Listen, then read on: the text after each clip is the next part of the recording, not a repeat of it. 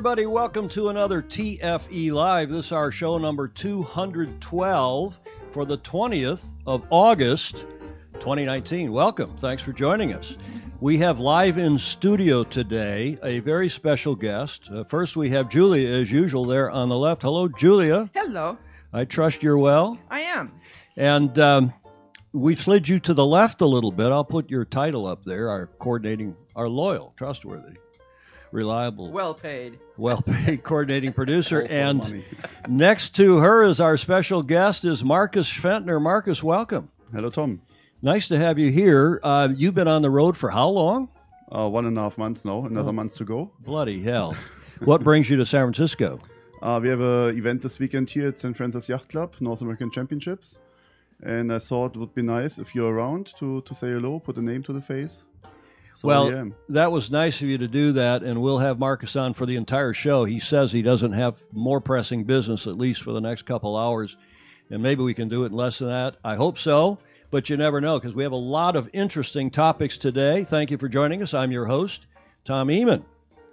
Okay, let's get out of this and get on to our first slide, which is our upcoming guests. We've got quite a list here coming along. Not only do we have Marcus today, from uh, from Germany, so originally from Germany, from Berlin, I guess, and now living in Greece. Is that right, Marcus? Yeah, You're that's living in. Athens. Yeah, better weather than Germany. Better weather. I'm not not so sure. It was it was pretty hot, hot. this year in the north of Europe. How, so. how about how about taxation? How's the taxation? uh, about what? Taxation. What? Huh? okay, fair enough. No, no double taxes. No, no double taxes, no, but I we're keep that in delighted, Germany. delighted to have. Well, we lived in Germany for eight years, so I can appreciate the tax regime there. At, Pretty- least, at least you understand it there. In Greek, I have no idea how it works, so I keep it in Germany. it's better. And Julia's late husband, Conrad, was Right. German. And Julia, the other day, I had to take her to the bank so she could get something notarized for the German, uh, what was that? Social the pension, Security, Social yeah. Security. You have to prove that I'm alive. so she can get her husband's continuing pension, which is great. But we have Marcus with us live in studio today. Delighted to have him here. And on Friday, it's Patrick DeBarros. Patrick, who is a longtime friend and a tower of power. He's written a, a, uh biography, autobiography, and uh, we're going to talk about his book, but we're going to talk about his life. Into the Wind is the title of his book. And on uh, Tuesday, next Tuesday, a week from today, Commodore Phil Lotz of the New York Yacht Club, he's the immediate past Commodore, updating us on the IC 37s, the Invitational Cup by Melges 37s. I'm quite not sure what the name is, whether whether it's that IC 37s anyway. And we'll have uh, Commodore Lotz on, and then on a week from this Friday, we'll have Luca Devoti uh, Luca, the long time, the sil- f- silver medalist in the Finn class in Sydney in t- 2000, and a Finn builder and a longtime friend. He's been on the show once before, always full of humor, full of life, uh, and full of opinion. So we'll be delighted to have him as well. I want to thank, of course, Jody Shields, who was on with us live from Australia, from Wanji Wanji. We have learned to pronounce that, right, Julia? Correct. and he was a hoot as well. And he, of course, is the Sail GP commentator. If you haven't seen that show, it's on our Sailing Illustrated Facebook page, like all of the previous shows are. You can go see it there and watch a replay, as same for all of our previous 100 and what 11 is this show one or sorry 212 Yes. 100 211 shows And you don't have to watch them all at once. you don't have to go on like netflix and Yes, binge yes, binge binge, watch. binge watch. binge, binge watch them for no you don't that would that that would be mental masochism It would, yes. if ever there was okay i thought we before we get to marcus and uh, we're going to get updates from him on the state of the kite kiting kiteboarding world and the olympics 2024 and all the things that are going on. But before we do that i promised jody shields last friday we'd run this video about the sail gp inspire program. And i found the video and i thought you'd enjoy this. Have a look What's your favourite pastime? Uh, to swim and stream video games. I like riding. play video games. Free time on my phone, you know. Singing, dancing, and acting. Gymnastics and that on the trampoline. And sailing? No. No. No. Not really. No, never have. We're an island, and you would you would assume that all of the young people here on the island and all the people here have access to the beach and sailing, but that's just not the case. About a third of young people, children on the island, are living in poverty. Only so so few of them have actually had an opportunity to ever be out on the water. So the work that UKSA does in providing these type of opportunities and having partners like SailGP that support it is so so important.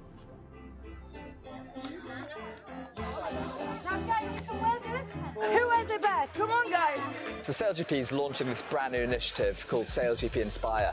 And the whole idea is to reach out to the local community at every stopover that we go to, focus on three modules, learning, careers and racing.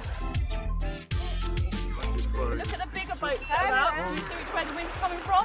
Today we're starting with the learning program and what we're doing here is trying to look into the science behind sailing. Before we take these students on the water, we want them to know exactly what's going on. Sailing geometry, how a sail works, how a boat floats. Then once they've kind of got their base knowledge, we'll take them afloat on these RS Cat 14s and give them a whale of a time.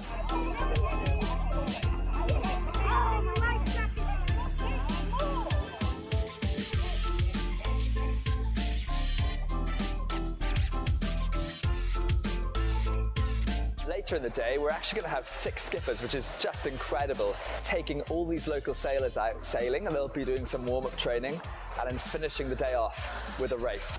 So what's going to happen is we're going to have six special guests come to meet you guys. The skippers of each team are going to come sailing with you guys this morning. Oh, look, blinking nervous, what's wrong with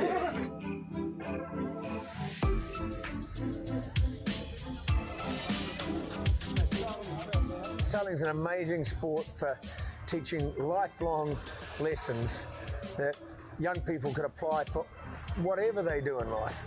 Teamwork, sportsmanship, things like being well prepared, things like being responsible. Amazing finish. Lots of nose dives, lots of sailors, big smiles. Okay, so you get the idea. This is an offshoot from what was done here in San Francisco for the America's Cup 2013 that was actually run by Laurent Esquier, and also uh, what was done in Bermuda with that program. This gentleman, uh, Tom Herbert Evans, I think is his name. Uh, I've not met him, but we've been texting. He's going to come on the show and explain more about it because I think it's a great initiative for the sport. I love to see Larry and Russell doing this sort of thing and congrats to them and to their sponsors, RS Sailing and Wasp and Rooster and Markset and so on, UKSA, because it's it's good for the sport. It can't be. I, it can only be. Don't you don't you agree, Julia, Marcus? What do you think? Oh yes, it's a great opportunity to get in youth involved with sort of hands-on operate opportunity. I mean, Marcus, you see this all over the world. You're traveling literally all over the world all the time with running, kite, kiting, kiteboarding. How do we get kids from? You heard them all say, oh, "I'm really not a sailor." How do we get kids from this level into club sailing and beyond, and maybe even into the Olympics? Well, first, first to attract them to sailing at all is the challenge. Now it's not like 20 years ago anymore, where you know sport clubs and um, and things like that were the only thing that people or kids can do. Now we have to compete against mobile phones and video games, and um, the kids are hardly moving anymore. So I think any initiative that gets the kids out and get them into nature and in the water is great. And I think the trick is really to to make it fun for them, to make it an enjoyable day with with the heroes of our sport and make them want to go and not just their parents sending them to sail because Mm. that's not going to work. Mm. Then they will go somewhere else. If they want to do it themselves, that's how we get them. Are, are there any similar initiatives in kiting? Is it kite? What do you call it? Kiteboarding, kiting, Kiteboarding. kiteboarding, kiteboarding. Any But similar initiatives?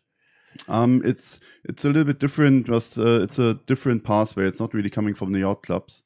Um, it's coming from. There's a lot of crossover from other board sports, skateboarding, uh, and all of that. And people are doing it.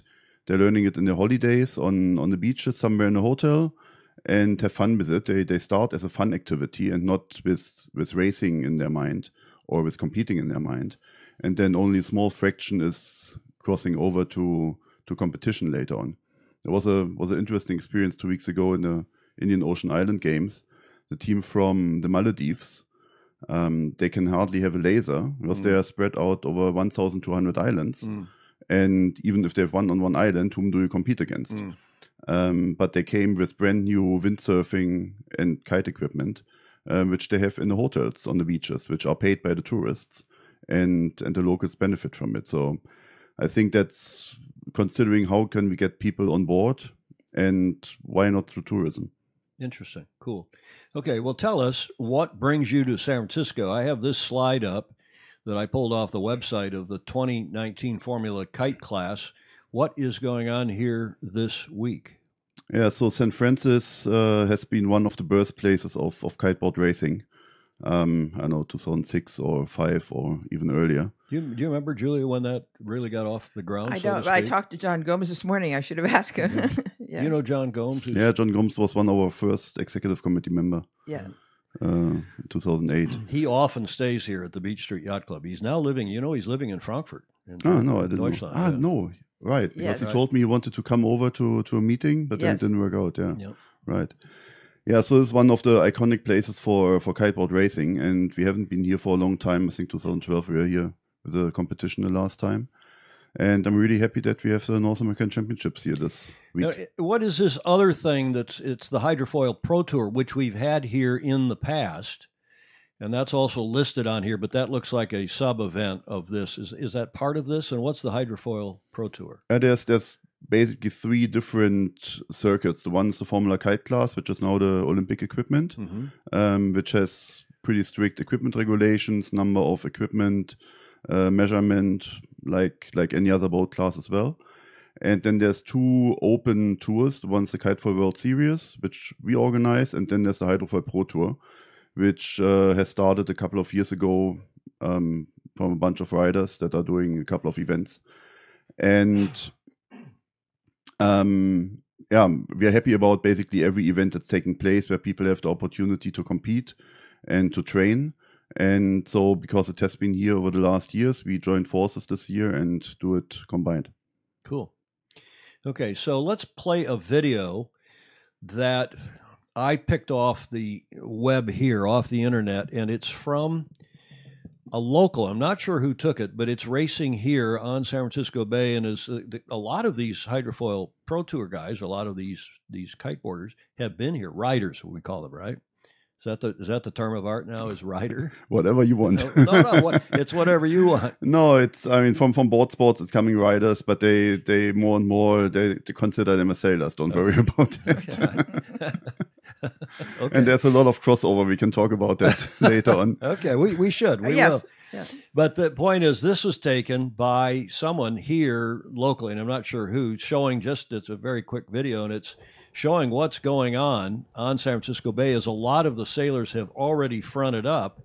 I'll leave the mics up if you want to comment. Already fronted up to practice. This is this is almost uh, I think ten days ago. Yeah, so it's there's there's happen there's kite racing happening here all the time, and uh, I think there's a Thursday night race series in St. Francis, um, and yeah, some of the first world champions were coming from St. Francis Yacht Club, the Heineken uh, siblings.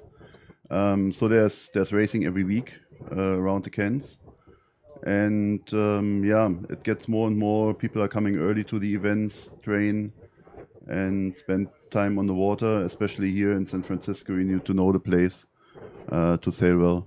Is this about the windiest venue there is Uh, we had it quite for, windy for regular Marseille. racing? You know, not down in Tenerife in the south of Spain or some of these other places. Uh, we had it quite windy in uh, in Marseille. We had it quite windy in Paracas at the Pedal Games last week. Down down in Peru. Yeah, it was like 30, 30 plus. Wow. So, but yeah, this is a windy venue here. So they expect it to be windy. They like it, and I, I tell you, Julia can vouch for this. We really enjoy the kiters, the kite, the, the riders.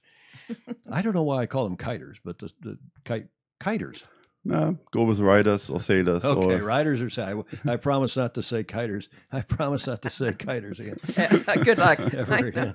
But we enjoy having at St. Absolutely. Francis, and you're right. They're just like any other fleet. On Wednesday, the old the Woodies sail, the the traditional one designs, the Knarrs, the IODs, and so on.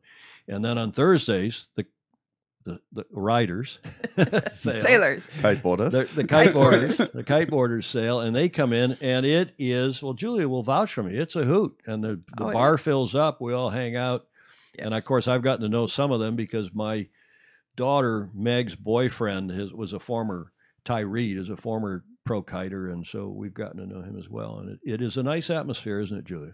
It is, and adds a lot of vim and vigor to the club. And diversity too, because you get people from all walks of life, young and old, and Yeah. not just a bunch of old white men and women like we have normally at St. Francis. Although it's one of the most diverse clubs in the world, probably. and really works out when uh, when once once the fleet is integrated. It's a little bit chicken and egg situation. So uh, we are very happy about every yacht club that is uh, putting up um, Thursday nights, Wednesday nights, whatever racing, and then the fleet is coming and joining the club, and uh, just like everyone else.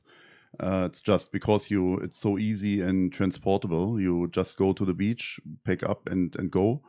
Um, it's a yeah, as I said, chicken egg situation. If there's an offering by the club, then people will come. If not, then say, well, no, why is no one coming? So it's a little bit tricky, Mm. But we're getting there.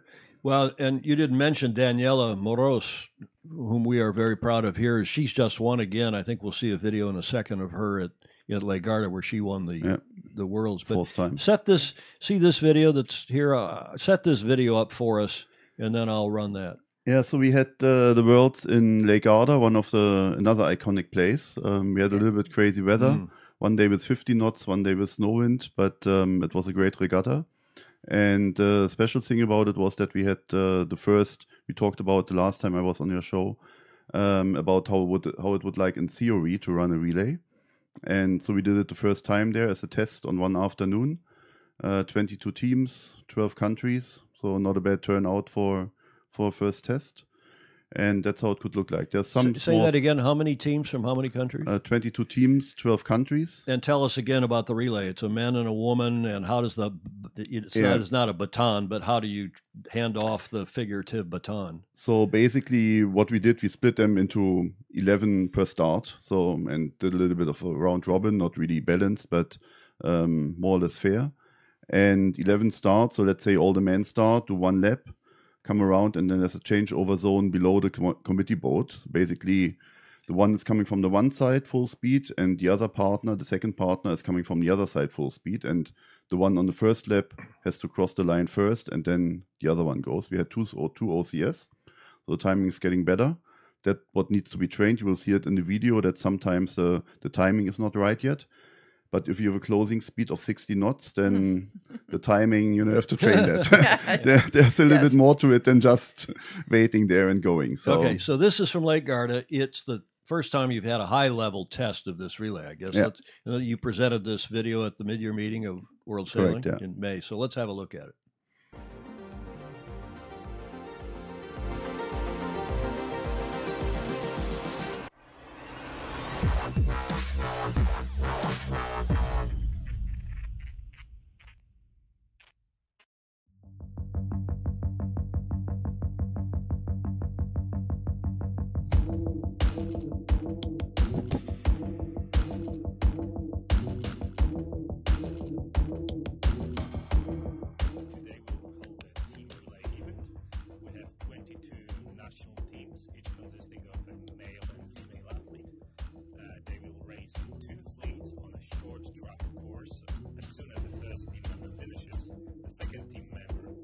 Is allowed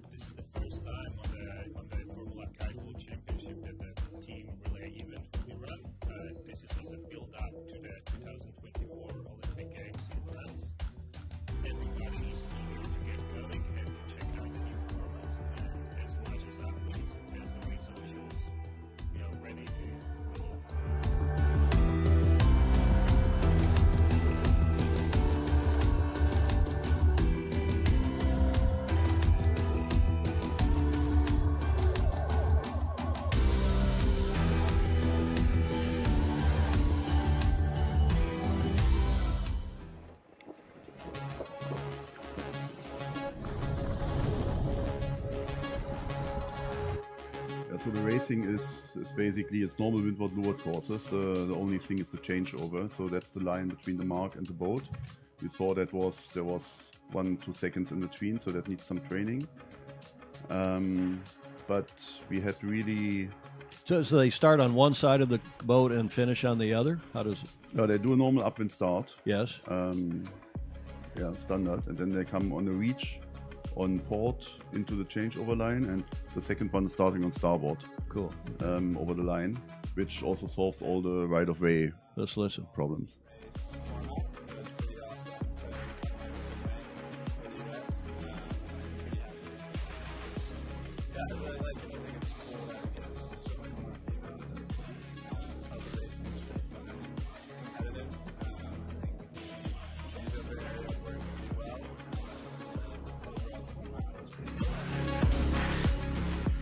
Where's Evan from? I don't know him. Uh, I think s- well, from San Diego. I'm not sure. Um, yeah, it was interesting that even the ones that were a little bit skeptical in the beginning, um, and the ones that only came out watching and seeing what's happening, um, were really, really fascinated and, and amazed how it works. And it's Are- you happy?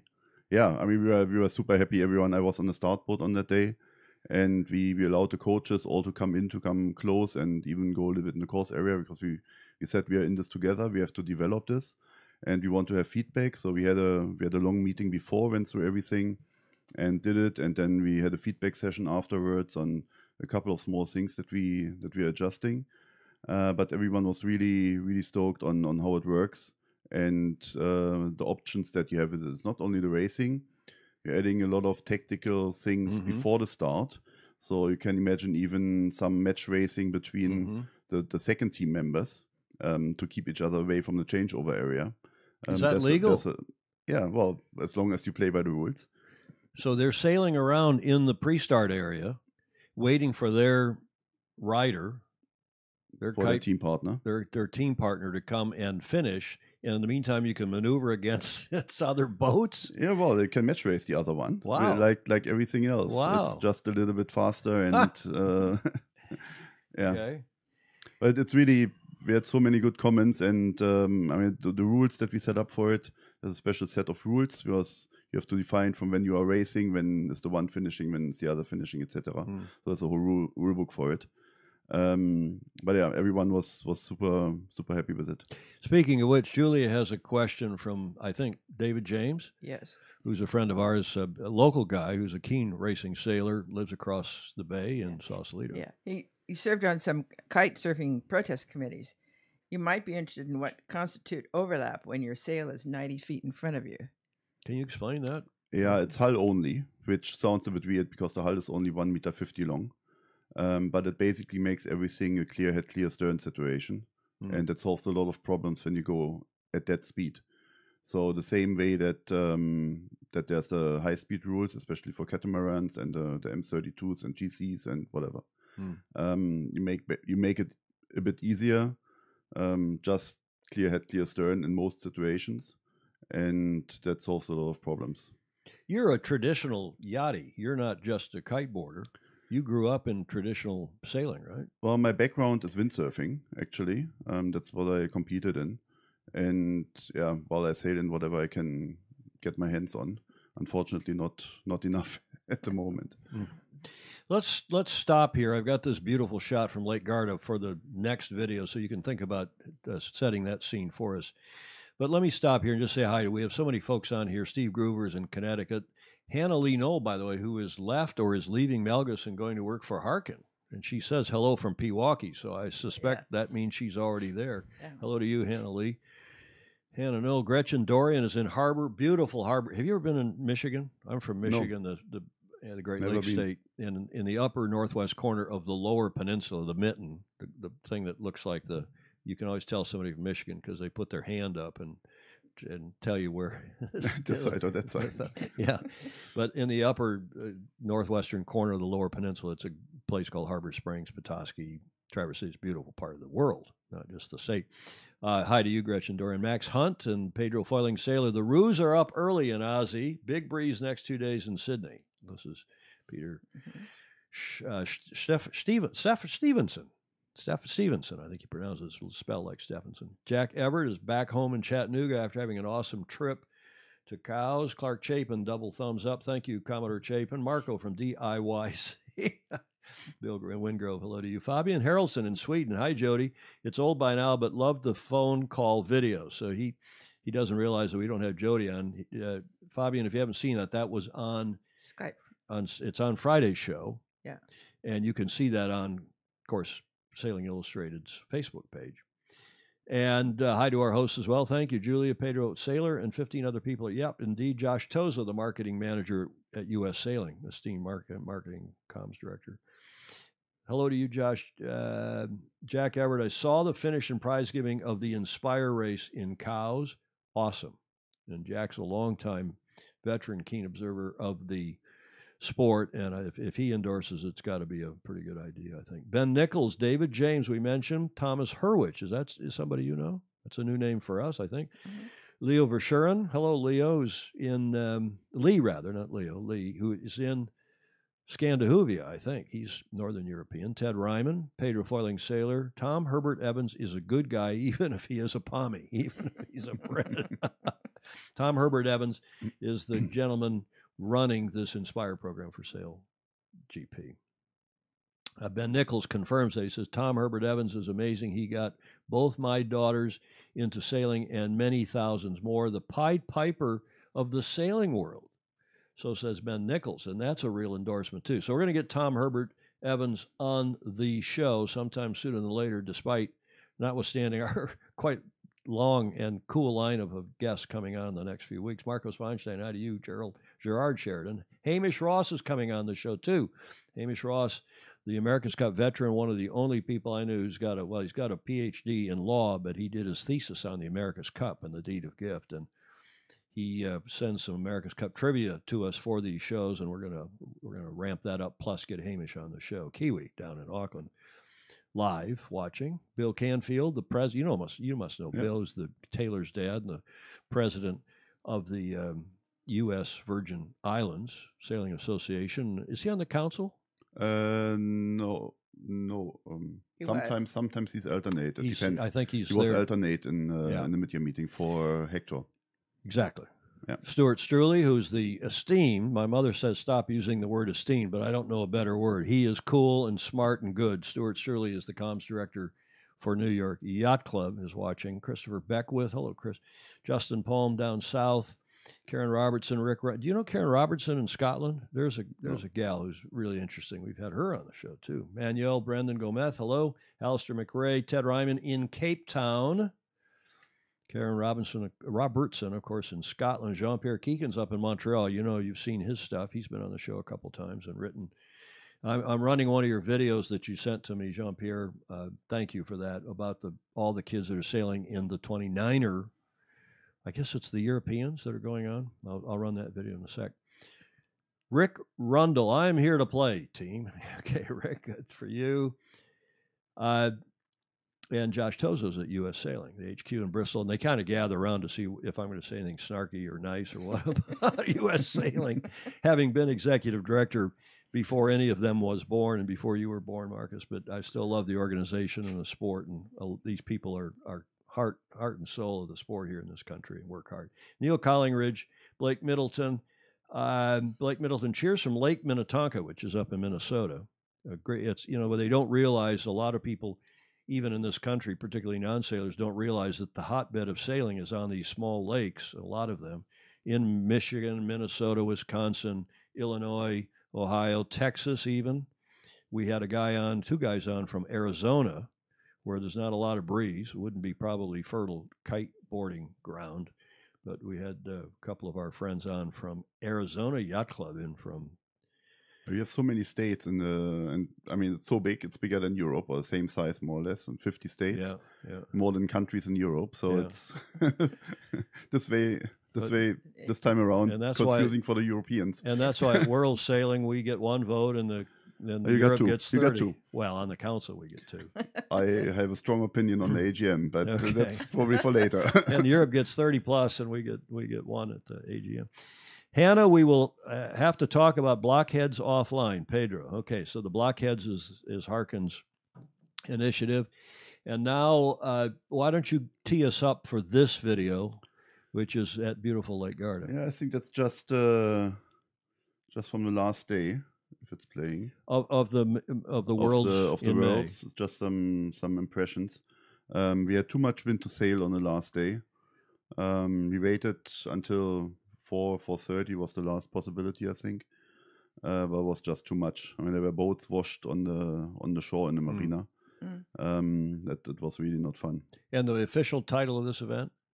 Uh, that was the Formula Kite World Championship for individual. So we did the um, the mixed relay as a as a test. And next year The, the video we just saw was at the Yeah, same event. That that was the Okay, same event. Yeah. Let's have a look, and then we'll come back and talk about it.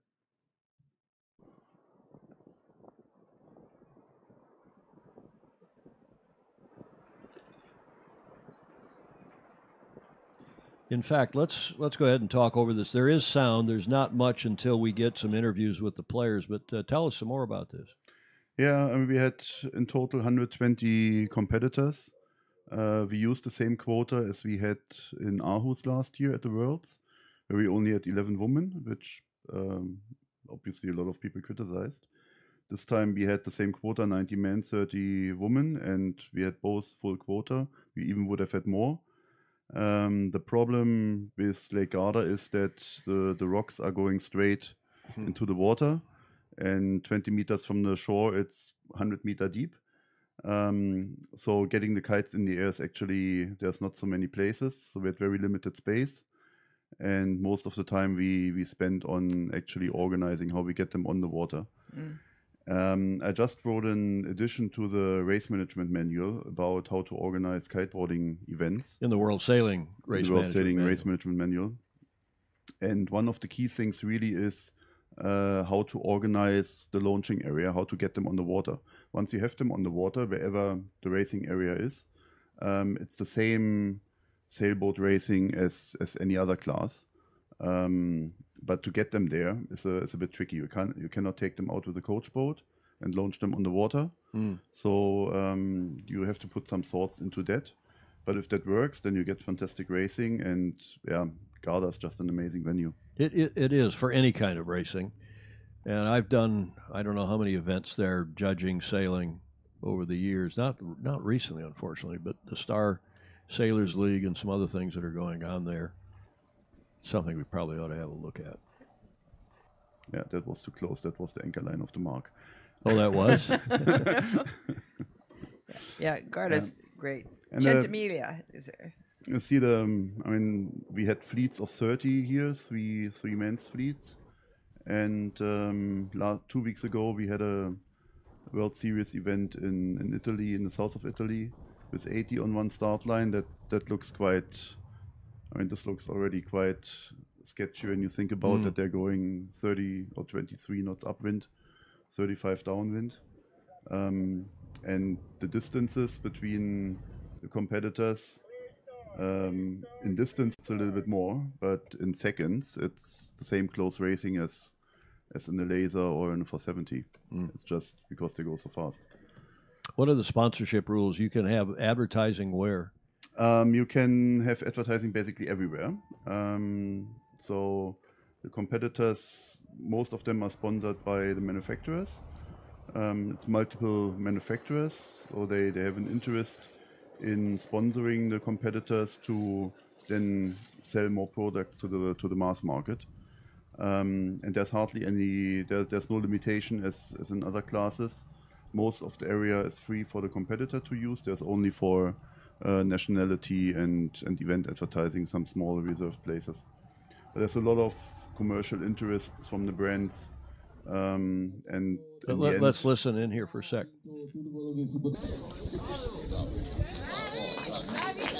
So I, won. I'm really happy to come on the first place here in Campione. So it's been an interesting week. So I played safe. Uh, I got two thirds, one first and one second on the finals. So really happy. I felt really fast sometimes, and I had a lot of people getting really close to me sometimes. So it was interesting. this And Nico Parlier from Yeah, France. he's, he's the son of a very famous French offshore sailor. 30 people Um, so at the Sailing World Cup final, there was there was a lot of media fuss about him. Will he be here? starting all together. Uh, you will be here. Yeah. Yeah, he's usually here. Now here's somebody with work. This is St. Francis Burgee, Julia. I don't know. I'm just really excited, just knowing that all the hard work paid off and um, yeah, made it another year. Um, this week was really challenging. I think it was one of the most challenging regattas that I've been to tactically. Um, obviously, we were sailing in Lake Garda, which is a really tactically significant place, and um, yeah, it was really all about sailing smart and going off the wall. Um, I had so much fun. It was so cool to see so many more girls out, um, and I'm really excited to see how the next um, next year will be and the rest of this year. So, yeah, I'm pretty excited. Um, I want to get the Gold Cup title um, this year, so I'll be doing the KiteFoil Gold Cup this year, and uh, hopefully European title later this year, and. Uh, long term next year, um, you know, win more world titles and eventually go for the medal. Yeah, it was really close with Elena yesterday with the really challenging conditions. And uh, yeah, she's definitely still the queen in light wind. She's amazing in that. Um, and I have so much to learn on that front. So I'm excited to learn more and get better at that. Um, Okay, so really that's close Daniela Moroz, who's from the Bay Area, St. Francis Yacht Club, and, and won the women's. And you said the U.S. won this first ever relay. Yeah. This to, together with Evan, so they took that. The the first race, uh, the first changeover, and Evan was over early. Oh, yeah. And on the changeover, and I thought, well, they're not going to have a great evening tonight. But then they um, then they came back and they, they won with one point. Um, Hmm. the, the mixed one. And, and she is what, Julia? She's all of 17 or 18 maybe now? Maybe She's she's 18 now, yeah. Is she Yeah. 18? But she started when she was 14 and she was good and cute when she was 14. Yeah, well, she still is and bright and Yes, articulate. We've, absolutely. We've seen her uh, a few times here at prize. gi- You know, we see her at the club every now and then, but we see her prize givings, and I think she was wasn't she Yachts Woman of the Year Yeah. for the club this year? So cool stuff. And she was nominated for the World Sailor of the Year. Yes. Yeah. Okay, cool stuff. Well, tell us now about this chart, which you sent me this morning. This is what a new kite medal race format that you're experimenting with. Yeah, there's there's a lot of discussion about formats at the moment for for all the Olympic classes, and uh, obviously for 2020 it's all settled, um, and that will be the standard racing. Everyone is doing the same, but for 2024, everyone is asked to come up with ideas for for formats, and that's not just putting a different course in or making the reach to the finish line a little bit longer. Um, it's about how you structure an event, how you go from a from the opening series to the finals, and um, obviously, we, we have been experimenting with with the winner takes all final a couple of years ago, and also in the Youth Olympics, and that's that's really not a good idea for sailing. Um, to to sail And, the and why? week. and I I don't disagree, but why is that? Uh, a, a one race winner, t- which Russell Coutts has been advocating for years. A one race winner take all, which Yeah. is the way Star Sailors League does it too. Yeah. Um, Why is that not a good idea? It, it we tested it, and from from the outcome and from the feedback, it's, it's I think we can do better. And so we came up with something where we achieve the thing that the one who's winning gold is crossing the finish line first, um, and then you get the other ranks. And I think that's important for the media to to tell a story that that then really it's it's over when the gold medalist is crossing the line as the first one in that race. And then you So put how some, do you do that if you don't do one race winner take all? um, you when you go back to the this- slide. Okay, let's look at it. Take us So we have an opening series, and, and Uh, how many race, teams? uh, 20, 20-ish? whatever, twenty-ish, Yep. the normal Olympic fleet. Yep. And um, to give some importance to the opening series, I mean, you're doing good the whole week. You don't want to forget for what you have been winning all the races, and then that was for nothing. Uh, you go straight to the final, and you carry forward. The, the top two teams there, the green, the ones Yeah, up in the green. the so if you ones. you do X many races, what is it, five, six, seven yeah, races? whatever it is, 10, 12, whatever the and opening the, series the top is. two teams then go into the finals. They advance. And My mother would criticize me. She says, "Don't say France. It sounds, Mom. The whole world says France, except for the U.S. So we're going to say France in advance if we feel like it. So what what do you say, Markus? Do you say France? France. Yes, of course. Okay, so back Like to your everyone. chart. the top two teams advance, Um, advance to the finals. Those are the green teams, and So- then you have two split semis. Yeah, then there has been a lot of discussion about um, how can we make a final where we can ensure that the last one or the, the first one is winning the gold medal, and that basically everyone's coming up with a four-boat final. The Like, four-boat- like stars, like Star like the Star. Sailor League. The problem is that if you do that in the Olympics, um, then you have only four countries that are interested to watch it. Yes.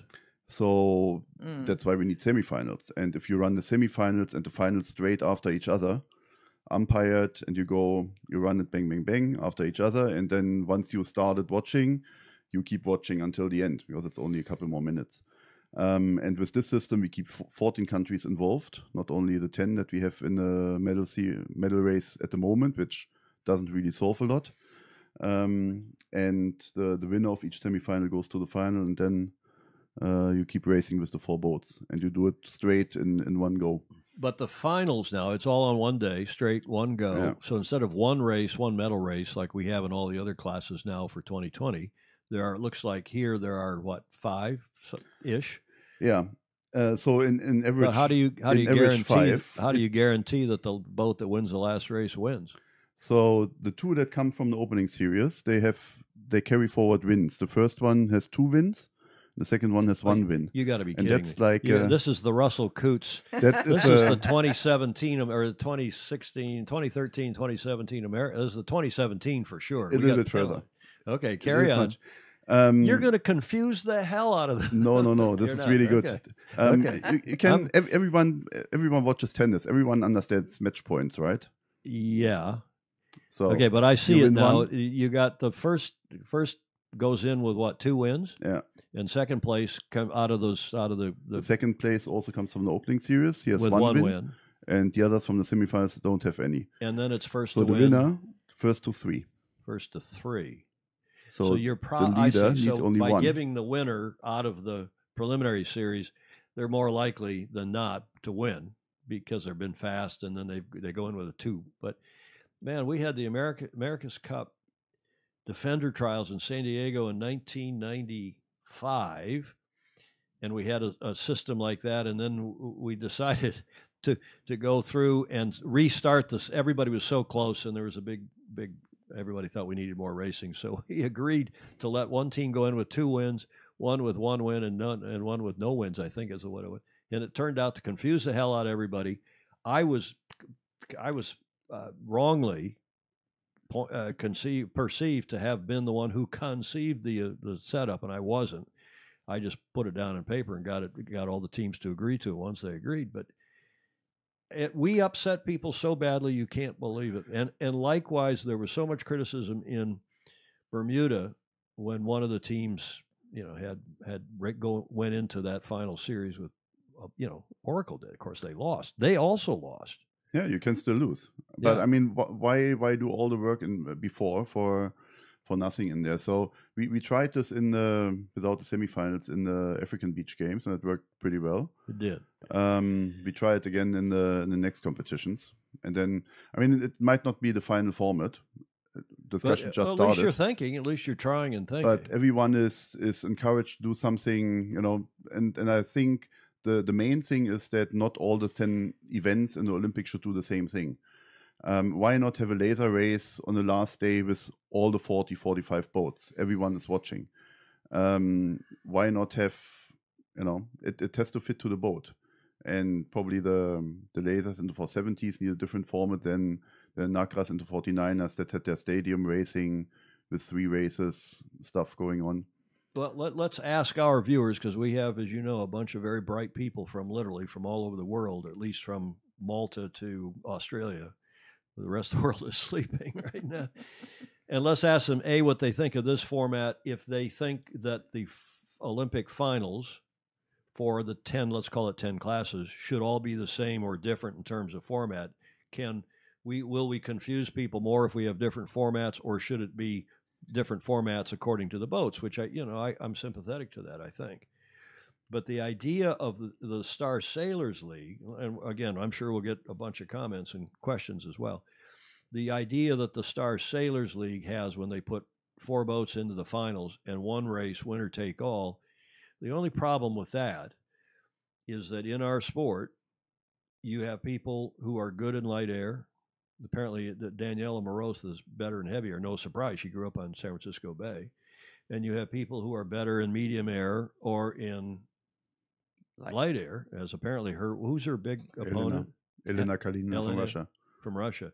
She sounds like she's a light. In fact, I think in that video, I'm not sure we played it all the way through, but I heard Daniela call her the light air queen. And Yeah, that's she what, is. that's what she has to work on. She Daniela has to work.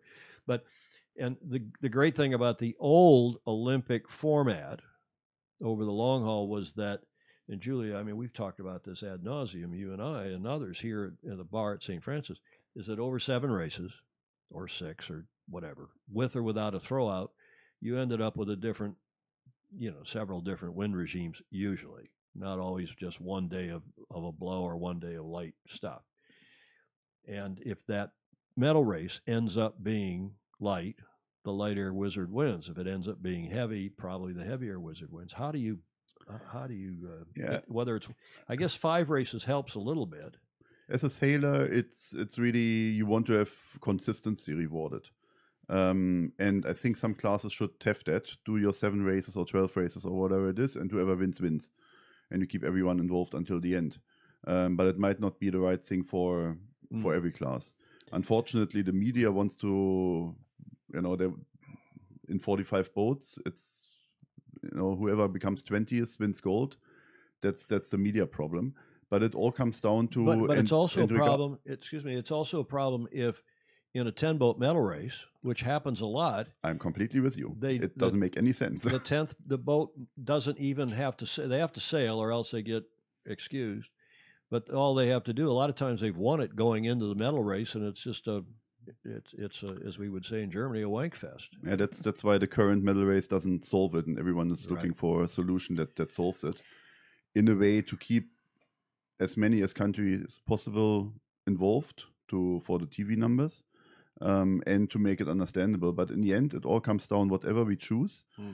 and I'm I'm quite convinced that we need different different formats for for different types of boats. The Mm. Offshore will de- will be definitely a different format because it's one race. Whoever Mm. wins wins. Um, so it's th- that's already the first different thing.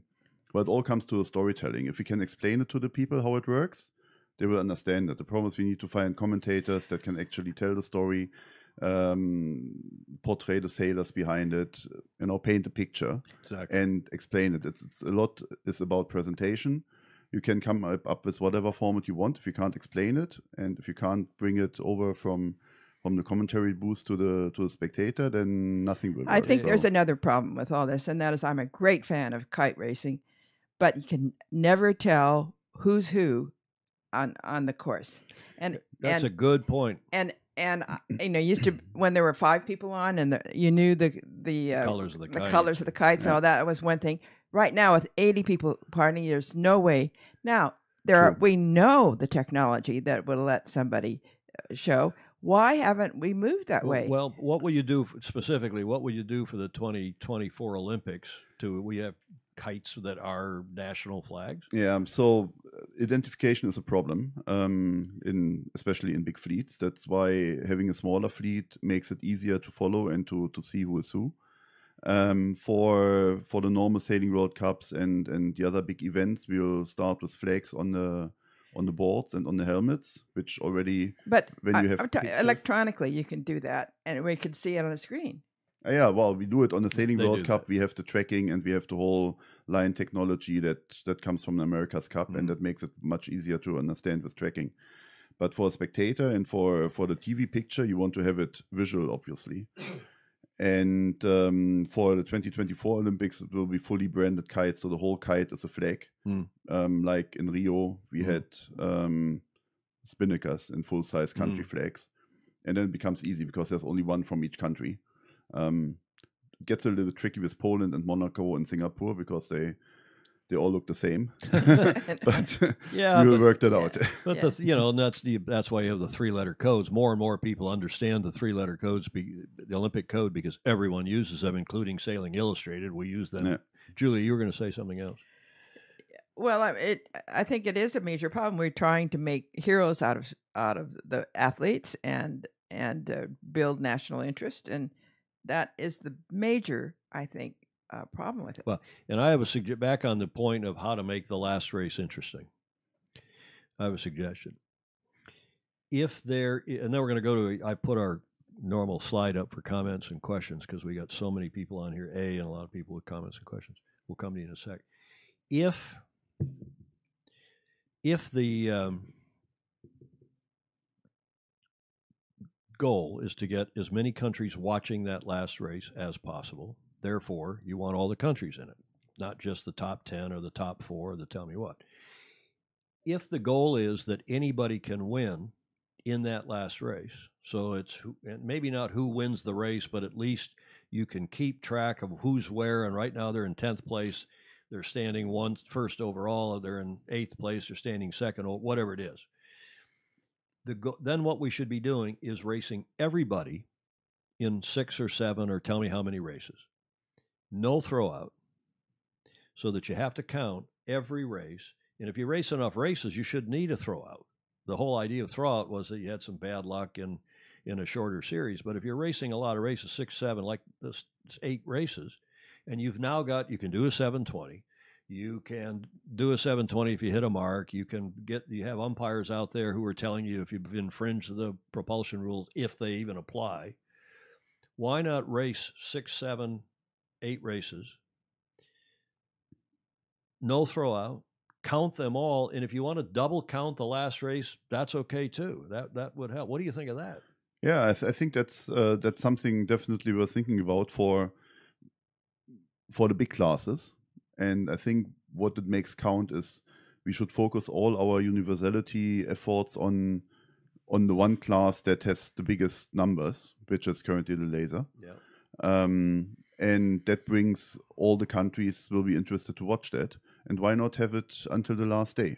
You get big TV numbers, and that's what I- the IOC makes happy. I, I agree, and, and that's why we keep saying, we keep saying, I'm going to turn your camera just a little bit and get you up higher in that frame. There we go. Uh, that's better.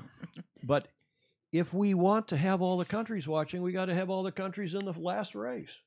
It seems as simple as that, and we do all this other machinations and combinations and permutations. Excuse me. I'm glad to hear you you like that uh, because you're chairman. You're an influential person in world sailing. You're chairman of the classes committee, right? Yeah, well, I'm. The And on thing the is to- council, to, in that capacity? Yes, yes. To it, it's sometimes difficult to represent the, the interests of all the classes because there sometimes there's controversial interests, but in quite a few things we we have the same opinion, and that's. And when mm, and when it's for an issue about kiteboarding, you don't vote then, right? You No. take it because you're an, an officer. You're paid hand. You're the chief executive. And no, basically the, the policy is that we, we have in the committee is that what whatever decision is on events or equipment for the Olympics, we abstain from it. Yeah. We don't even discuss that. Um, yeah. Okay, well let's let's go to the phones as they say because there's so many people Yeah, commenting on here. Appreciate the shout out to the inland lake sailing, Hannah Noll was saying, and and it is true. People, I mean, they forget even in the UK and a lot of places the racing is on. I mean, Germany. Look at there's the, the big Yeah, sailing, the tons biggest of- sailing club in Germany is the. Norddeutsche Regatta Verein on the on the Außen Oste in Yeah. Hamburg, and, right? and the Bavarian Yacht Association has 234 members. I mean, yacht clubs. member clubs down Member in, clubs, in yeah, München, in yeah. Munich. Yeah. Exactly. Okay, but sailing and rivers and lakes, it's nice to be on the ocean, San Diego, St. Francis, here in San Francisco, and so on. And even the clubs on the big lakes, like Chicago Yacht Club, but there's so much sailing that goes on in these inland lakes. And look at probably the best sailor in our country in the in the long haul, besides Dennis Conner, who came out of San Diego, and he, he arguably is the best sailor over the long haul. But Buddy Melges came off Lake Geneva, a little lake in Wisconsin, superb sailor. David James is saying Mr. Middleton calls him Mr. Middleton. Blake used to work for me when I ran U.S. Sailing. Hello, Mr. Middleton. Was my coach at Stanford, small world. However, you haven't addressed the weird overlap rule. Is the overlap rule weird? David thinks we haven't addressed that. No, we did. It, it did? I thought we did No, too. it's, it's hull eh, only. The hull is just very Hull short. only. it- The sales don't apply. Yeah. Okay. I hope that answers your question. My is uh, not esteemed. My beloved mother is watching Janice Davis, who's not in France, but she has advanced. I'm sure. Uh, Her- you're gonna hear from her. you Jody know. Shields is watching. Jody, who was our guest on Friday. Lake Garda is the Wangi Wangi of the Northern Hemisphere. That says a lot about Wangi Wangi, which is Lake Macquarie. Again, it's a lake. They don't race. Well, they can. They can get out to the, the, the ocean. This is about two hours north. Have you been there? About two hours No, I haven't been there, but it was very famous in the time of the speed world record attempts with uh, Yellow Pages, Exactly. uh, Macquarie in Innovation. Exactly. God, how can I remember that? That's a long time ago. well, it was, but in fairly recently in the modern Quentin Strauss, Q Strauss in the UK, Hi, Harold Bennett, famously good coach, leader of the sport. He was the race officer. Julia Harold was the race officer in that picture here at the Gold. I'll show you after the show there in the hallway here at the Beach Street Yacht Club. I was the race committee boat representative, and Harold was the race officer for the 20 uh, 10 America's Cup, and each of us had race committee boat representatives. And I went on on behalf of Oracle, of BMW Oracle Racing, and Who put the flags up? I took the flag. they, they were ready to start the Famous race, story. and the race committee for the SNG Society Nautique Genève wouldn't. Yeah. They went on strike because they thought there wasn't enough wind. It was below the wind limits, which it clearly was not. And Harold said, a, f- a- a few, I can't start this race. God damn it! And he had a whole line of obscenity. I said, Harold, excuse me, I'll go take the postponement flag. He didn't have enough bodies to shoot the gun, to take the flags down, to sight the line. And I said, I'll go take that flag. Do it yourself. and that's what that big picture is Ah. here at the Beach Street Yacht Club of, that Harold has signed. Thank you, Harold. Uh, Peter Houston, he lost me already on this contrived medal format. So there's a friend of ours who is not particularly amused with the format. But I, I, I P- Peter, uh, to to, to um, I think to the credit of the discussion, and particularly here to Marcus, Marcus. I'm going to call you No, Marcus. not French, please. Marcus. we get Marcus Hutchinson, Yes. another famously good guy, longtime sailor, Irish. He lives in France. France. Mom, he lives in France. That is Marcus Hutchinson. Uh, but, but to Marcus, to your credit, I think the idea that you got an open mind and you're not doing something for 2020. You're not using the 2020 Olympics to experiment with a new format, which is what they're doing with this offshore event. I, I'm glad you got a long runway. You can try these things, and you are trying things, and you're talking to sailors and me. It's great. Uh, Lee Verschernen, what, Lee, remind us where you are. This is a pretty cool format. He likes your format. Mark Nicholas is watching. Steve Gruber. I think people were upset in '95 because the format got changed during the competition. If that had been decided before the series began, it would have been more well accepted. I, I totally agree. I think that's a good point, Steve. Peter Houston, anything other than a winner take all race is something the general audience will never care about. Never underestimate the stupidity of the audience. Peter's a music producer and television guy himself. Georges Bonello DuPuis, Rear Commodore of the Royal Malta Yacht Club, is watching. Hi. We're going to have him on, Julia, right? Yes. We got to get him on. Jennifer Dunbar here, local. Jan- John Sangmeister. Sango, nice to see you. Lee Verschuren is saying the Copa del. I hope I'm pronouncing your name right, Lee, too. Give me a, a phonetic pronun- pronunciación. The Copa del Rey also set up a new series scoring sale for four to five days, two races per day, which sets the ranking for the final day. Number one of the series gets one point, two gets two points. It's low point scoring for the final day. This gives the rest still a fighting chance to get on the podium. So that's similar to what you're doing. Yeah, there's a lot of possibilities, and they all need to be tested. Not not at the Olympics. We need to figure that out before. Exactly. Um, but we have a couple of, of years to work it out, and we have a lot of events uh, to experiment. And then in the end, I mean, obviously, the most important is to make the sailors happy that Mm. they like it and they find that it's a fair, uh, the right person is winning. That's what it's all about. And I mean, if we can make the media happy as well, then why not? But um, we shouldn't sacrifice everything for. Well, the, the goal has to be to do both. We have to find a format that the sailors are happy with, that they're it's it seems real, it seems legitimate, it doesn't seem contrived, and that the media finds exciting. And I, I frankly, I go back and, and J, David James is agreeing with me. I think the reason you have a regatta is so that after nine races, give or take, you have a winner. And I like the, I still like the idea. I wish you'd go push it at World Sailing. A bunch of races. Not my committee, unfortunately. Well, but, but you, you represent all yeah. the classes. You should talk about it in the classes. Yeah, Ben, council. ben Remocker is sitting in that uh, working party for the format, and obviously we talk about um, a lot of things. The Yamoka. Yeah. 60. No, Ben Remocker. Oh, Ben from, uh, 49ers. Ben is also coming on the show. He runs the Nacra, the Yeah. 49er, and the Yeah. 20. So he's sitting on that working party, and, and there's a lot of exchange on, on ideas. Vice Commodore Ken Glidewell is watching. Ken, uh, we're going to be watching at St. Francis this weekend. It's the the club is. I mean, here's a club that has been involved in the America's Cup and promotes racing at all levels and the Olympics. It, it does more to help Olympians, I think, than just about any other club. Possibly New York Yacht Club, Lauderdale Yacht Club, one or two others, San Diego Yacht Club. But then also Uh, is St. at the- Francis Foundation. exactly, Yeah. and is at the It's a body, forefront which is a of great thing. forefront of the. Of, I think I might my St. Francis. Yeah. Uh, Yeah. Only because I have a Properly branded today. I have a committee meeting over there tonight. uh, Michael Geerling, Jody Shields, banging the corner style is top 10. Now, they run a regatta in Australia. This is Jody Shields. Bang, and, and there's website that called Banging the Corners. And then they have a regatta. They say that th- their regatta is top 10 race of them bottom, top 10 of them race, then bottom two drop. I get it. Top 10 race, then bottom Yeah. two drop, new race, bottom two drop out. Keep repeating until. So you get ultimately to a match. That's how shooting is doing it, by the way. Shooting the, is that right? Yeah, shooting was uh, was a very confusing format, and they changed it to to exactly that. They they have an opening series basically, and then the top ten go. Everyone has two shots, and then they keep point keep adding the points, um, and then the lowest two drop out. Two shots, lowest two drop out It's simple. until you have a final with with two. and it's a match race final, and everyone said also I mean, it says, might- might have do, you, do, been- do you like that, Julia? Yes, I mean, You're not enthused. I'm the You're only still reason, processing it. I'm processing it. The reason is that uh, I I buy your original thing with the more boats on the water, the more people watch. That's all. But but it, it go ahead. You were going to say something else before. Yeah, but you, you start with a lot of teams, Yes. and I mean the thing is usually when when people start watching, yes. they they keep watching. It's just no one switching on the TV if my country is not in anymore. When the country was in, then okay, you watched it and you want to see who's winning in the end.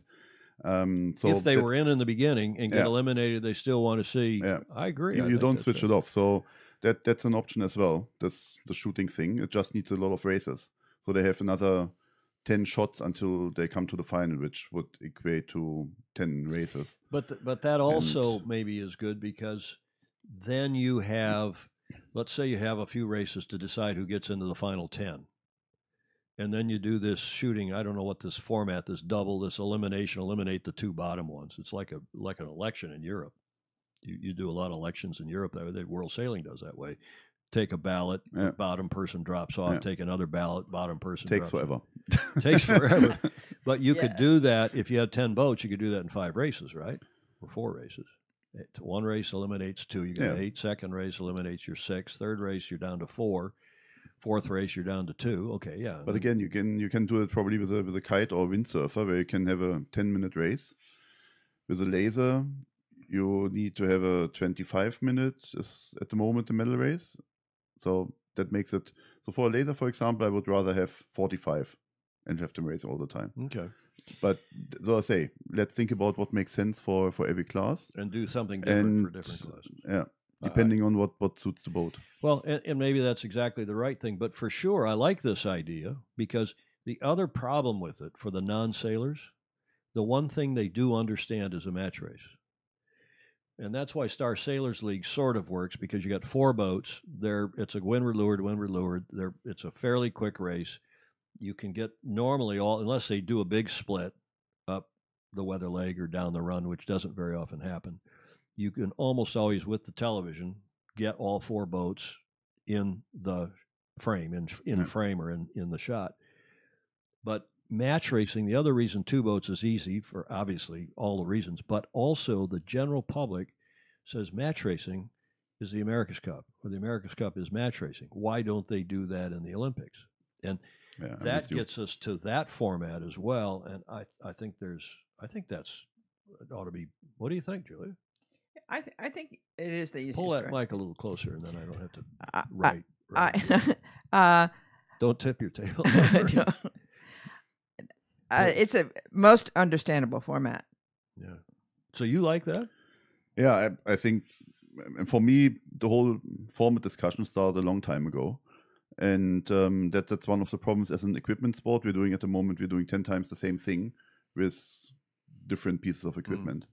Um, and yeah, not only to showcase the whole bandwidth of the sport, match racing would be, and I think it was amazing in London. It was easy to follow, Hmm. and um, that would be a format we, we should have. But Do you know that they tell me, and I wasn't there, but everyone who was and was has been studying the media numbers over the longer haul say that that women's match race final in Weymouth, which was apparently the weather was good, and there was breeze, and it was up against the shore, was the highest watched thing. Yeah. And I can guarantee you, I, I was on the jury for two Olympics for '92 and '96 as the American member of the jury, and I also umpired because I helped invent that system. Yada yada, and so I did the I can't remember. I did the finals of one and the semifinals of the match racing and the other because there was an American involved. And in '96 was in Atlanta. We're out in you know way out, and there wasn't much viewership. But in '92 in Barcelona, it was right in front of the athletes' village, the match in the match race Yeah. finals, right up against the almost against the breakwater, and all the athletes that weren't watching or weren't participating in their own events in or in other events were down on the breakwater enjoying the nice weather and watching yacht racing and it was cool and it was match racing very easy to understand okay what else do we have here julia I- there, there, there are several Im- important. I, think ones. jody shields has gotten us onto something there Yeah. Uh, Karen Robinson is talking about sailing can't be any more confusing than some of the velodrome event cycling events. Mm. They're confusing Yeah, because they have heats and eliminations and there's one where they they totter at near stopped speeds and then do one lap fast. Then there's an, another where they follow some dude on a moped for Yeah. ages, and, and if that gets viewers sailing, must be have it. Well, and Summer chance. Green says, uh, and Summer Green's a very fine race officer, and off and on, she's a what we call a FOSI, a friend of Sailing Illustrated as well. I think it's more confusing to switch scoring methods between stages. Mhm. So the nice thing about the shoot, again, the shooting format or the format I was suggesting, which I, I'm warming up to the shooting format. Yeah, I don't know why a we could- idea. And I think she's got a point. I think Summer's got a point. Don Logan, Lisa Ratcliffe. Lisa, thank you for your. She's sending great stuff from. I sent her a bit of not a snarky. I just sent her a suggestion about her some of the PR, but she's doing a great job sending stuff up from Hamilton Island Race Week, where we would all like to. Have you been to Hamilton Island? No. Up in the northeast corner of Australia. That race week, and the the sailing and the Oatley family and the resort and that whole thing is one of the. It's one of the bucket list items for any sailor. Should do. I Julia. think uh, Mark Nichols has has an important point. I Major flaw in the Olympic model? Yes. mhm. Just one boat from each. Co- okay, so let's talk about that. I was going to bring that up with you as well. Uh, let me just be sure I don't want to skip Karen Robertson. Sailing can't be any more confusing as some of the. Yeah, okay, so we covered that, and I think we all agree, Karen. Uh, Mark is saying major flaw Olympic model, just one boat from each country, despite some countries having more than one who are good enough to not only be in the fleet but to medal. And this is a perennial problem. We know we're trying to get as many countries involved, and that's always, always been the model, at least since in the modern history. And I don't know way back, uh, you know, back before the war. I don't know what it was like, but certainly in the time I was involved in IYRU and ISAF, and all the time I was aspiring to be in the Olympics, it was one person per class per country. But we know in track and field, we know in swimming, we know in what or what you would the rest of the world calls athletics, not track and field as we do in the U.S. You can have multiple people from the same country if they qualify in whatever their qualification scheme is. Should we be doing that in sailing? Well, it depends. Um, I think the biggest issue that, that we have in sailing is that we don't have enough quota for for ten events, and we are already pretty limited for ten events to 350 at the moment. If we want to have really one universal class, Yep. then more than 20 for all the other events is not really in there. And if you take the Finn, for example, where you would have probably number one, two, three, four, all from the UK, then that limits the Yep. number of other countries that can participate. And then you get to the problem that if there's only very few places, then countries stop trying to qualify. Um, because what's the point when there's only so few spaces? The main argument about was it always that you could do team racing and help the other on the water, and unfortunately that's happening. In I've just seen that in, in another event in the Ocean Island Games where they had up to three boats per country, and there was some some serious team racing going on. Yeah, that, So- that is a criticism. It always has been. But by the same token, it's pretty easy to police that. If somebody is off Yeah. sailing and covering that's what we somebody off for. on the left side of the course when they're up to free to spring loose their their fellow teammate. But and, and to counter the other issue, I don't think even today the UK would put the top four. I, I'm going to play a video from the Finn from Enoshima in a moment, but I, I, they might put two two. They might have Giles Scott and and one or two, and the Kiwis might now have one or two, but the US might even have one or two. But you know, you got Hungary and the Netherlands, and on and on and on. So I, I'm not so sure that's And I, I personally like the idea to have more than one from from a country. Because why shouldn't it be if, let's say, France has the best top three in the world at the moment? Why shouldn't they be all on the podium? Um, but it limits with the number of quota that we have. It's a really limiting factor. Are there too many classes? Should we have fewer events, classes, and more boats per class? Serious question. Yeah, it's a. I mean, at the moment we we have a pretty good uh, distribution of doing doing different things and representing different types of equipment. Um, and on the one side, we want to showcase the, the whole bandwidth of the sport, and apart from that argument about the double-handed mixed mixed offshore, we have it now from keel boats to to kiteboarding and windsurfing and everything in between. Um, as long as we we show the bandwidth, it's it's fine. But it's such a diverse sport. It's it's really difficult to limit that and say we we throw out one type of boat. Um, but the quota to to event ratio is is is a serious problem, and we don't even know what quota we get for 2024. So- Indeed.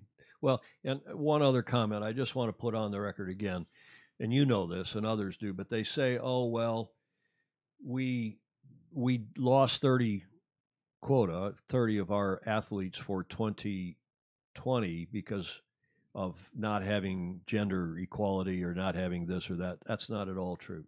The re- and I don't mean to put you here on the under the glass there. Uh, the reason we lost 30 slots from the quota we had total for all the classes in Rio 2016 versus the, the minus 30 we've got for 2020 is because we didn't use 30 of the slots in 2016. We did not use as a sport our full allocation across the 10 events. And the IOC, who are always trying to cut back the summer games because they got too many athletes, too many sports, too much expense to put on those games, or they're trying to bolster the winter games said, okay, sailing, you didn't use 30 of your slots in 2016. You can uh, have 30 less for 2020. Yeah, which is, um, I guess, a problem of the qualification system, and when people have to commit to it, and uh, then you have countries that are really good, like New Zealand, that are not taking up the places, even if they're qualified. Well, and even Canada, and, and I don't think the U.S. yet, but it's under consideration. Canada qualified in certain events and didn't send athletes, and Paul Henderson's still fuming about that. John Emmett is wide. Oh, Mark Nicholas, thanks for that comment. That got a fair bit of action here. Uh, Bill Wingrove is watching. If the sailors following the scoring do not get it, then the general public watching on TV will not get it either. And I think that is also very true. Makes them more confused on top of trying to figure out the sailing. So, what is gained for the TV? Good point. Uh, there seems some option for gear failure. John, if there's, you know, uh, two things. If they're gear failure, you got to be sure your gear is good. Yes, there are supplied boats, and some of them maybe are not 100%.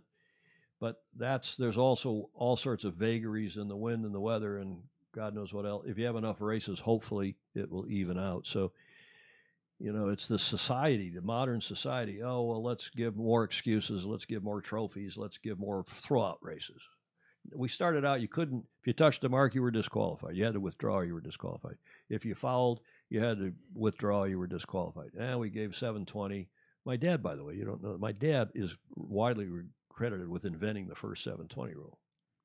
So, and that's not by me, uh, by Dick Rose, who's our big rules authority here in the U.S. So the 720 rule may blame my dad for it if you don't like it, but I think it's helped sailing a lot to have some kind of an alternative penalty, right? Uh, but then you add on to that alternative penalty for touching a mark, one throwout, maybe two throwouts, and throwouts themselves make it very difficult to understand the scoring. You say, oh, well, you know, it, right now, here's the standings, and then suddenly we we kick in throwouts after X many races. And then a free dress on top, and E- Exactly. And on and That's a on. big discussion. And on and on. Uh, we got to simplify it. It's got to keep it simple, stupid, kiss. As you as you saw in in Cowes with the GP50s, I mean, Yep. first you have to get your boat around the course, and Yep. then then we talk about winning. So Yeah. Same in Formula One. Yeah. Finish first. First, you got to finish. Steve Gruber, I suspect the cost per athlete is so much higher for sailing. I'm not sure that's really true. It's a little bit higher. I think we make way too much of that. I think we've got to find formats that both the sailors like and are simple. And if they're simple and understandable for sailors, and if sailors like them, then the media will like them as well. I don't think we have to invent stuff that the me- that we think the media will like. And we've been trying to do that now for what, 25, 30 years, and I'm not sure it's a, it's worked. Have a good top-notch event that the sailors like, that the sailing world likes, the media will say, "Oh, we they, they really like this. This is cool." Uh, Mark Nicholas uh, dilutes the fleet quality. Okay, Star Sailing League is by far my. This is Blake Middleton. By far my favorite system to push the winners to the top. I watched the first SSL finals in Nassau. Yep, so I've watched them too. But you're also another point you make, and this is where guys like Jody Shields come in.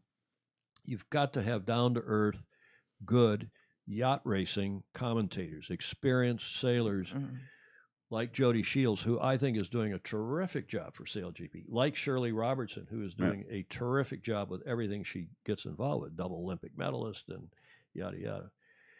Uh, Wayne Schreck says hello, Tom and Julie. There's another FOSI. Oh, Lee Verschuren is in the Netherlands, so it is the Low Countries. I was I was right. Clark Chapin, I would amplify that. The reason to have a regatta is so that after nine or ten races, there is a winner that the competitors agree was the best sailor. You're, you're shaking your Yeah. head, yeah.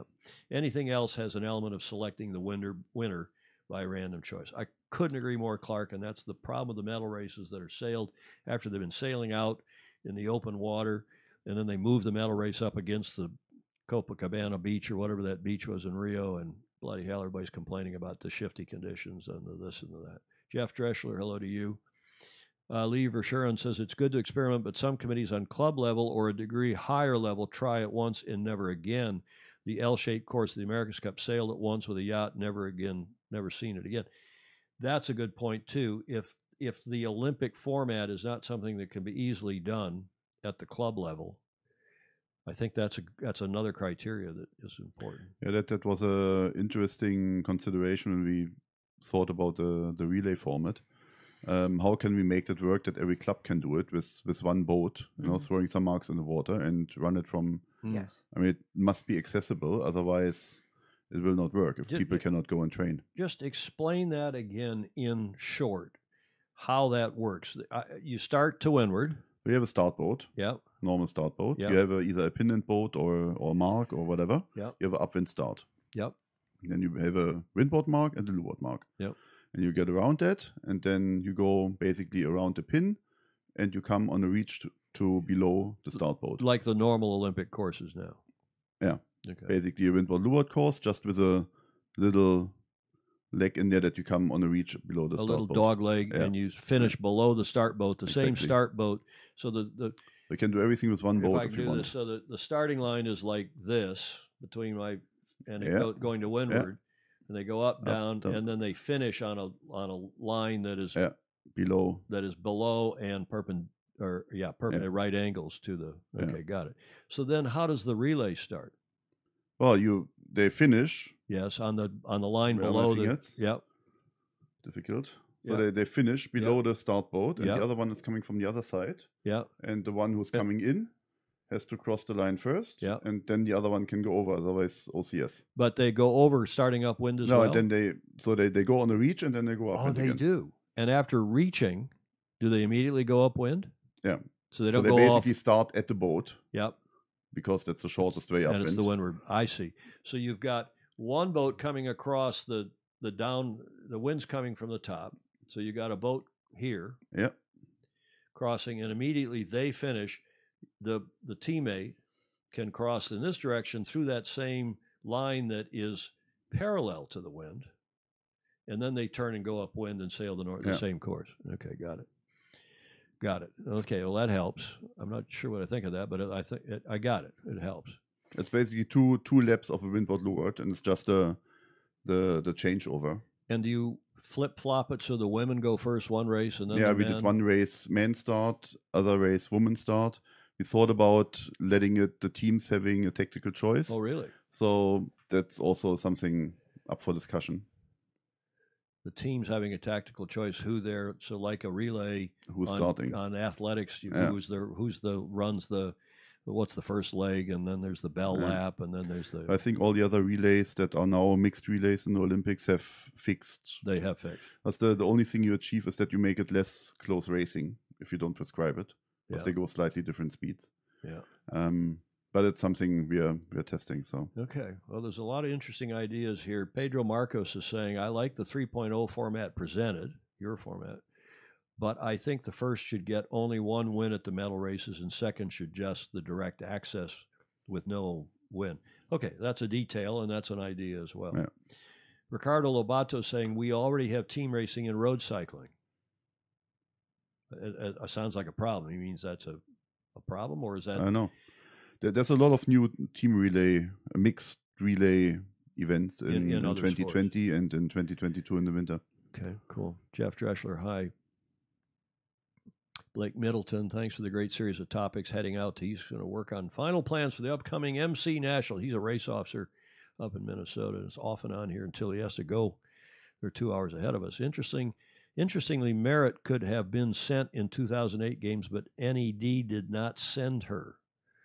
That's Marit. Um, her last name will come to me, not Soderstrom. Was it Marit Marit Soderstrom? So some countries have been, especially smaller, probably less affluent, although the Netherlands is very affluent.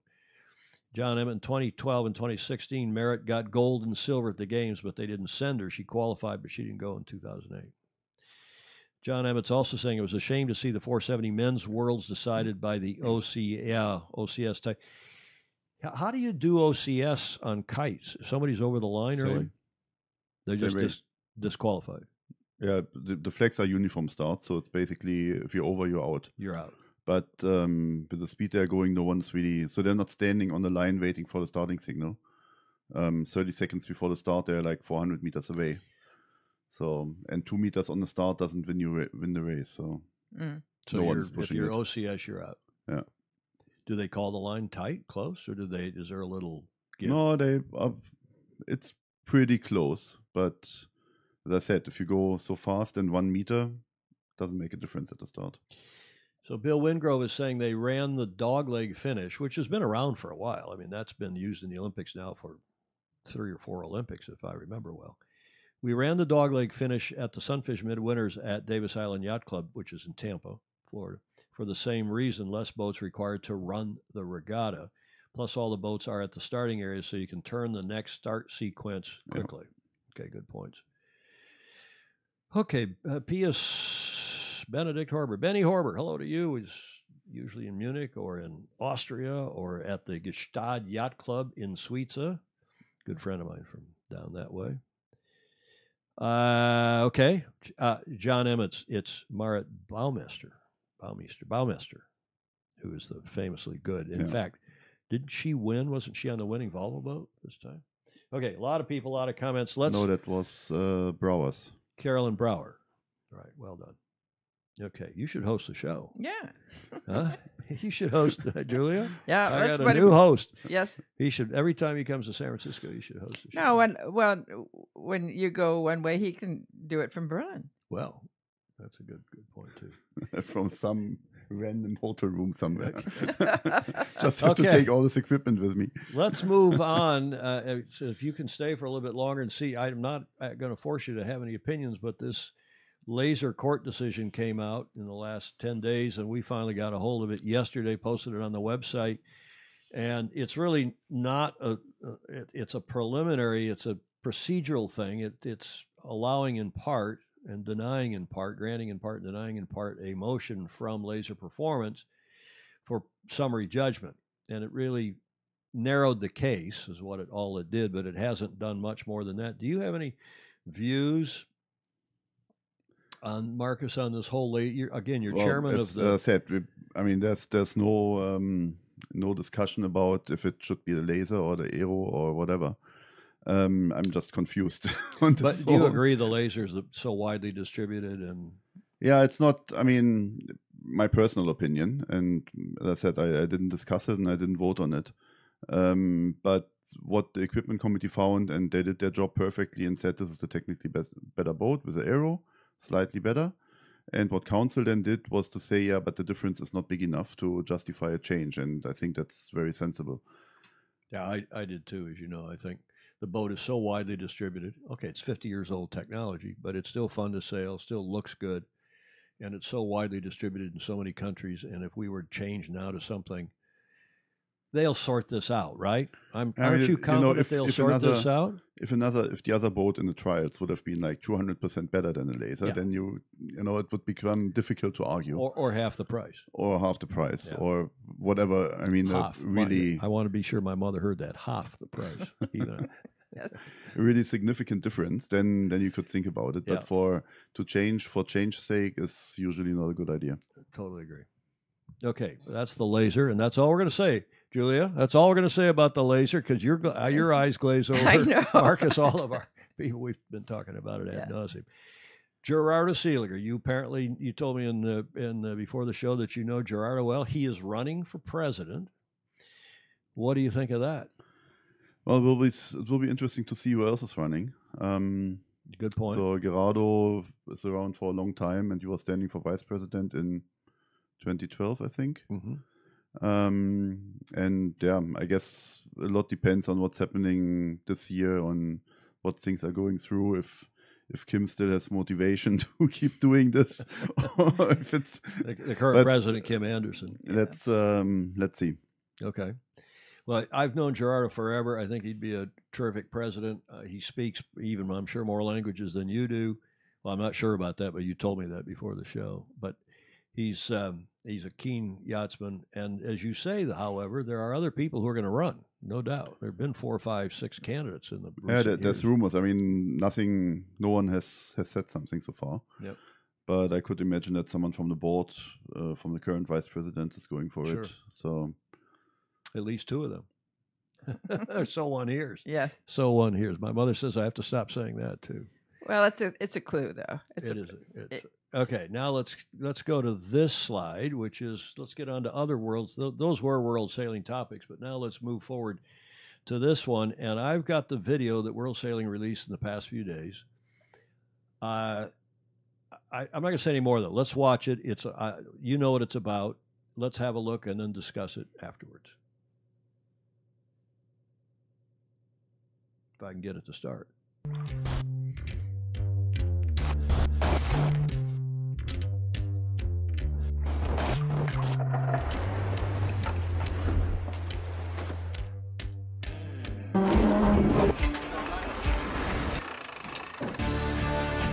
70% of the globe is water. This is sailing's field of play. Offshore sailing is played out across long distances, in light teasing airs and violent, roaring conditions that test any athlete's resolve. Offshore sailing is the ultimate test of a sailor's endurance, navigation, and decision making. The Olympic Games is the pinnacle event for all sailors. It is where the stars of the sport come to the forefront and become household names. Paris 2024 is now embracing a major part of sailing, and new heroes will be born.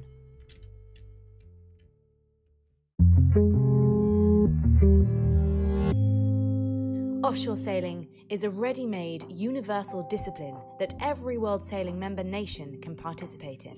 Qualification events for Paris 2024 will be held on each continent in one design boats that are already regionally available and can be accessed as charter boats. A list of equipment that can be used in offshore events will be approved by World Sailing, and these will be used at the qualification events and available for the sailors.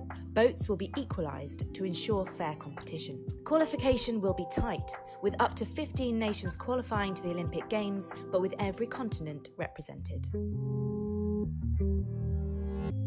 All of the equipment approved by World Sailing for qualification events will be suitable for Paris 2024.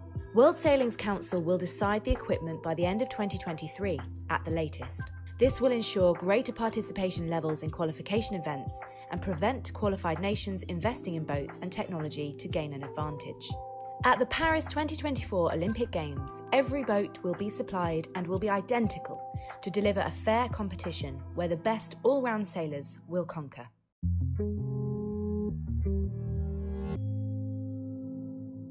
The mixed offshore event will comprise of three days and two nights at sea off the coast of France.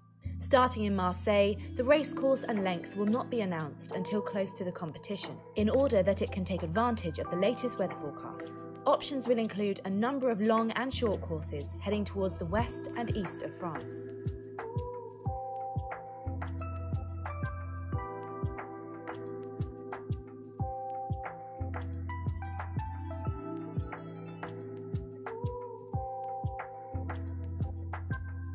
Whoever crosses the finish line first will be crowned Olympic champion. Safety and security will be provided by the French Navy and Mediterranean forces, who have a long experience of supporting major ocean sailing races. A presentation and demonstration of security and safety at sea took place at the 2019 World Cup Series final in Marseille.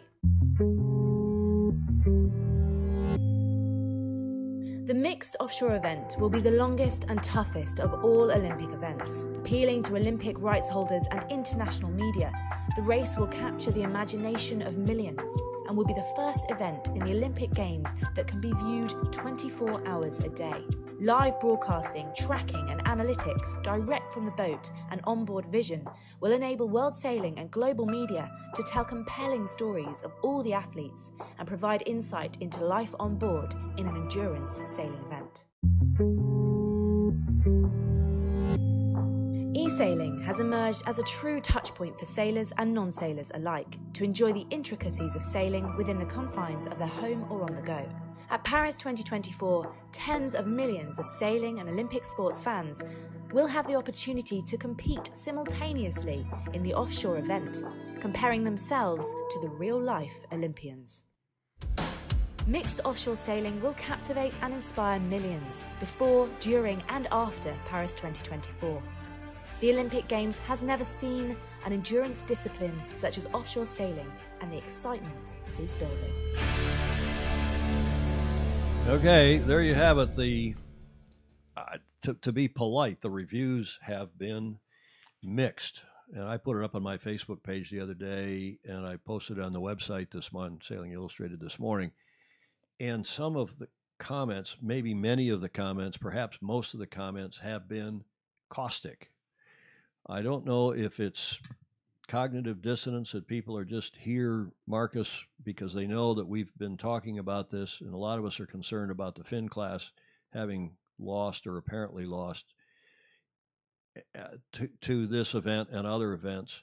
But I think everybody's over kiteboarding. I think everybody accepts, if not embraces kiteboarding. This event is strange, though, and a lot of people have a lot of comments. What, what's your comment that I'm abstaining. Abstaining. no, just in, in general to the video. Um, I, I think they're quite well made, uh, well saying videos. So the only thing that I don't like about it that it's about a double-handed mixed thing, and most of the shots are from fully crewed boats. Yeah. But okay, Yeah, I mean, you got IACC boats, you got Volvo boats, you've got okay, they've got to come up with something, and I think what they're trying to say, to be fair, is that this is a big part of the sport, and it is. It's half of the sport, maybe more, as people sail boats with tops, post boats with lids, and sail near shore. Maybe not to Hawaii, or maybe not to Fastnet and back, but uh, big boats is a lot of the sport. And I've said all along, I would hope that we might have uh, some kind of a big Keel boat boat, event, least. keel boat event, and we've lost that. We used to have twelve. You know, twelves used to be in the Olympics, eight, sixes, and so on. Okay, that's a, another thing. This event is fraught And I, I don't know what our people, if anybody wants to get into it now, because there's a lot of problems with it. I've got one of our FOSI has offered to do just to come up with the security costs. And I think when the French Olympic Organizing Committee sees, realizes what it's going to cost to secure a race course, like r- four race courses, different In Marseille. in in and in not notwithstanding in Marseille, which is a dodgy place at the best of times, but it'll be safer during the Olympics. They will. They'll the, the gendarme. They they will. They'll tidy it up.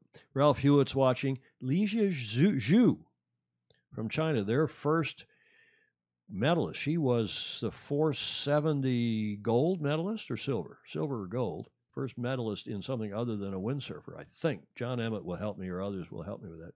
Nice to have you on. She's also been doing Sail GP commentary for the Chinese language.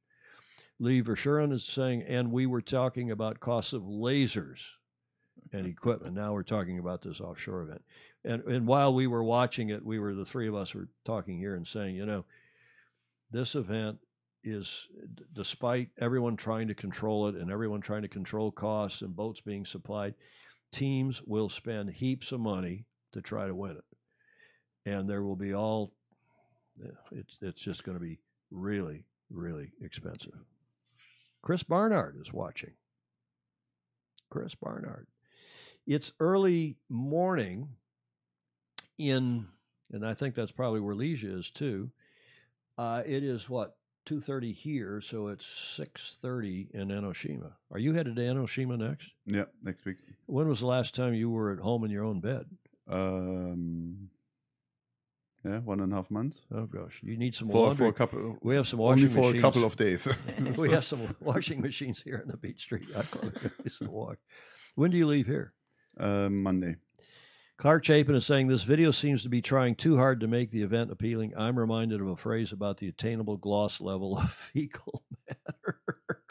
Clark, Julia, do that again, Julia. Clark, she she's scrunched up her face. Okay, so that's that. I don't know if anyone wants to say anything. I go back and look at the comments from my Facebook, my posting the other day, and it got I got shared to say uh, Facebook Yacht Club and to the Sailor's Voice, and the comments are caustic for Yes, the most they part. and Stan Honey, by the way, somebody else who is chairman of the World Sailing Offshore Committee, has promised to come on the show. We talked to him before he and Sally took off to to the East Coast to take their uh, Yeah, and uh, California yeah, up to Newport. September, October. So he he's promised to come on and go through this, and he's very persuasive. Stan's one of the brightest, if not the brightest, guys we know in the sport, and we'll see how that comes up. Okay, let's go. Since you're going to Enoshima, we've got people on who are watching in Enoshima. Just a couple other comments. Uh, Hamish Nickel, hello to you. Bill Wingrove, what if they set up a fleet of boats like they do for Concup and use them for several Olympics? Yeah, maybe. But then what happens, Bill, is that people will once they know what the boat is. And that's why they're talking, you saw in that video, they're not talking about telling the class of boats until as late as possible in the quadrennium so that whoever ostensibly doesn't, no one finds out the boats and they don't go charter two or three or four of them. Well, everyone's going to find out what they are. Everyone's going to go charter them. Everyone's going to go pra- all the top teams, the, the rich countries. And do you think this is going to be something for the island nations in Oceania or the island nations in the Caribbean? Excuse me. I see. We, there, was a discussion in the at the mid-year meeting about exactly that point, and uh, uh, the thing is, as long as they do the qualification in whatever is available, Yep. J70s, um, Yep. whatever, Melges 24, Yep. whatever's around, and where you have fleets, um, and don't tell anyone or make no selection of what will be the Olympic boat. You have everyone qualified, however many it is 10, 12, Yep. who knows. And then you tell them, obviously, then everyone will go and buy one, at least. Um, but that's only the ones that qualified, not everyone. Yep. Um, so it, you know, it, it can work like that. Okay, but imagine, imagine that you are from a nation that doesn't have, is not a not an affluent country. It's not Germany. It's not the U.S. It's not a country that has a big offshore tradition. A lot of people, and you do qualify by sailing in J70s or Melges 24 someplace. And now you're faced with this arms race when everybody does launch out and get the boat, or boats that are very similar and they go to the venue and they practice, practice, practice. It's it's fraud. Anyway, we'll get Stan Honey on here. Not, I don't. Go ahead. You want to say anything else? Yeah, I mean, Stan will say all these all these things, I guess. Yeah. Um, it's, I mean, the offshore event will have very limited number of countries qualified, and um, probably not every event has to be universal. That's what we have the laser for. And Good you know, even if you look at the at the Nacra 17, it's not a cheap boat, Mm. and you not only need one, you need some. Mm. And I think this whole discussion about the cost of the equipment is a little bit. Should we really talk about that so much when we have really most of the money goes into coaching, traveling, hotel rooms? That costs way more than boats. So Well, it's except a that it's a bit. barrier to entry. Uh, The cost is a Well, barrier entry, entry- for a lot of people at the lower level, and we keep talking about getting more people in at the bottom level, and then getting them to the intermediate level, and maybe even up the Olympic level. And if it costs, if you had to say, "Well, I'm going to go campaign a NACRA because it," eh, but oh my God, it costs. I don't know what a boat costs 25, 30 grand. What's it cost? Yeah, or more. I don't know. or more, and I'm going to have to have one per year because they wear out. What, by the way, speaking of which, let's Julie, you wanted to say something? No, I more I I work around Olympic medalists. Uh, the more I realize that they are really one focused, and and the trials and tribulations and money problems they all go through is just astounding. Why you know, why would anybody do that? Well, exactly, and, and and it's not only that; it's the opportunity cost of not being able to hold down a, a paying job. That's or a, right. A big time pay. So you got to Yeah. have what the Brits do, which is basically paying a, a, a living salary to their sailors. It's uh, But what? Let me ask Markus. What is the cost if I wanted to be competitive here this weekend at this regatta? Just take this regatta for a weekend, uh, for for an example. The regatta here in San Francisco, which starts when Thursday. Um, tomorrow's registration. What Tomorrow- day is today? tomorrow- Tuesday. today- Tuesday, Thursday. Wednesday, Yeah. Thursday. So it's Thursday, Friday, Saturday, or does it go on to Sunday? Sunday, yeah. So four days, and we've got the best of the best here, right? I mean, a lot of the top. Nick, Yeah. Nico Parlier's Yeah. here. Um the Heinekens, or at least Johnny is sailing, I'm sure, and a lot of the others for the South Americans and so on. And of course, we know that that um, our local gal, yeah, um, remind me, Daniela. Daniela. Daniela uh, Daniela, Moroz yeah. is sailing. But if I wanted to be competitive in this regatta this weekend, what would it cost me in equipment? So the, the retail price of a of a foil board for kites is somewhere ten thousand, give and take. Um, but no one's paying that. So I mean, all the top guys get it for free, Yep. and um, they have a pretty good resale value. Yep. You have to see that if you if you say let's say ten thousand round number, but you have four sales, so use any of them twenty five percent of the time. Yep. So And that it- depends it's on a little that depends bit on the wind. yeah, obviously, when you're in a windy venue, in a light wind venue, you have to have them all, but you use them different times. So if you make a comparison to a to a normal boat, then you have a hull, a foil, and one sail, and that's up to, that adds up to five, six, whatever retail price. But that's Okay, a so lot of 10 sponsorship. Ten grand, I could be competitive for ten grand. Yeah. And uh, plus transportation and room and board. Well, the, the transportation costs you fifty dollars because you take it on the plane. You don't have to ship a container, so that's it's a huge But advantage. you have to take You know? yourself on the plane. Yeah, well, but if you that's want to go somewhere. everybody does. So, so the marginal cost. if of- you i mean I, I just read the stuff about how to import a 49er into australia that's going to be interesting well, and just the yeah. the back, but so the marginal cost of doing kites we know is a lot less because you can't like windsurfers. You could put the windsurfer on a plane too, and they and Yeah. they did. So you didn't have to ship containers around and get carnets and uh, yeah, Yeah. yeah and you only need one you don't need to have one in europe one in olympic venue one at home um, which a lot of t- teams have Mm. Mm. so Okay. Okay, so that's the roundabout ten grand for a, uh, for Yeah. somebody like me. Okay, well maybe I should do that, Julia. Hop in, Very get some you. equipment, and I You could probably it. get used equipment for less than that, and I could be out there on Thursday. What a good idea. Not a ch- it might might take you one or two days longer to learn it but Uh, Joseph Moni, they're waking up in Perth Oh, in good. Western Australia. Hi, Joseph. Um, Clark Chapin is saying fraught is another term for foobar. Clark's coming up with all the racy stuff. As as someone once said, it's not the money, it's the amount. uh oh. Sound and I don't know. Are you having sound and video problems? Maybe it's your connection, maybe it's ours. I haven't dropped any frames here. I'm looking. We're streaming at our normal rate and everything's green here, Clark. Hopefully. Hopefully it's at your sorry. Hopefully it's your end, not ours. John Emmett, I would like to suggest for NACRA equipment costs are a very significant part of the campaign costs, but there are far more experienced people than me who could comment. Okay. Let's look at what's going on in Enoshima. This is a video that, that World Sailing put out just before we went to air. And it's uh, at the end of day four, which is Tuesday. It's now day five there. It's Wednesday morning. They're getting ready to race. But here's the latest of the latest from Enoshima, the so called test regatta, or what they call Tokyo Ready, Set, Tokyo. Steady. Steady. Ready, ready. steady. See, I don't know who came up with that. I don't know. Who- steady. it- do you agree? It's, But it's not a sailing thing. It's for the whole test events for Tokyo. So oh, I- they are. So it's not just It's sailing. not. It's not sailing. It's for all. Thank God. I was going to blame World Sailing for that. I'm glad to hear that that was that was ready. I mean, you the Brits would say ready, steady, go. We would say ready, set, go. So this was the Tokyo organizers that did this. Okay, it's Crutonic. Okay, let's look at the video.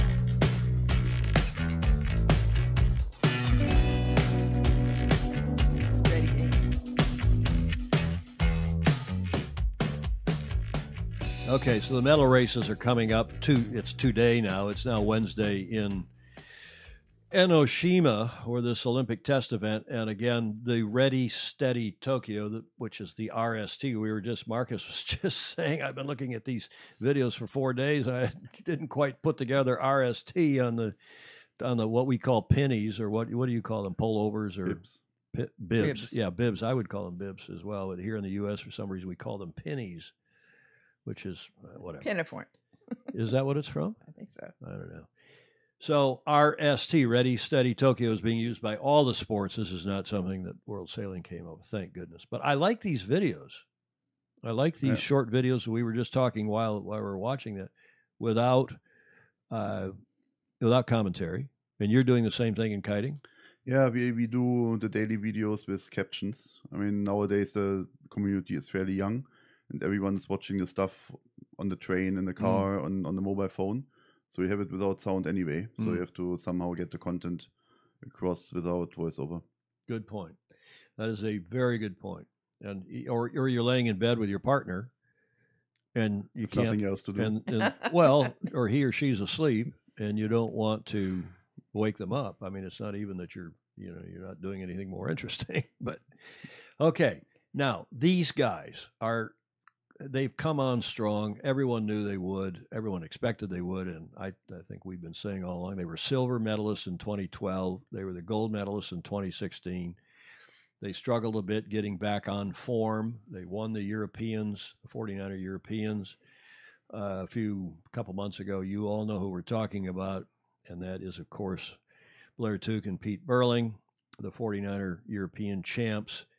And they are the America's Cup winners. They both sailed in the Volvo in, in the Around the World race and didn't win, but it looked for a while like one of them might win. But what amazingly good sailors. Are there two better sailors in the world today? If they defend the cup it's going to be pretty and if they go if they get medals again in Tokyo but how they're managing both campaigns but they are. And this is a cool release. This is mm-hmm. yachting New Zealand. They do a great job yachting the clubs in New Zealand and Australia just do such a good job with PR for their teams and there's I'm getting more stuff about the New Zealand Olympic team daily and it's cool. It's really good stuff. And this, of course, is the Yachting New Zealand press release from today as they look for their golden touch at tomorrow's, today's actually, it's now Wednesday down over there in Japan. Uh, meanwhile, the Finns put this video out, and I think they are also doing a terrific job. If anybody's looking for somebody to do the PR for a class, this guy, Robert Deaves, whom we've not met, who's a Brit, does a fabulous job have a look at this.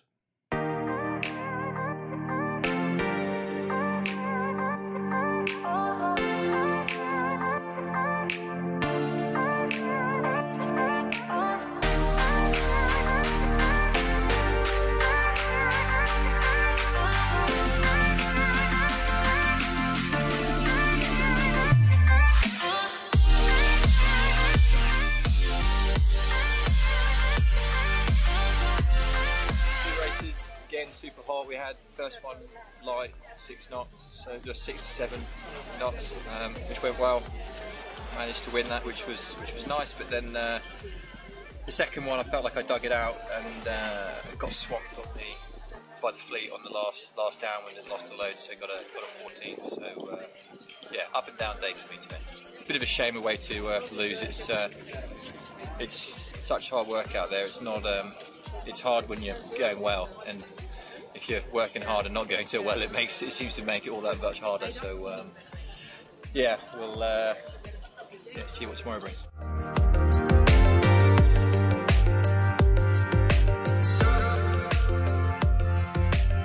Yeah, I uh, had a really rough start to the week. I've been working on my starts a lot and had good starts, but wasn't able to put together the first beats and today I felt a little bit faster, just a little bit better about everything and was able to put it together and compete in the top group. So it was really satisfying to finally be able to do that after six really bad races.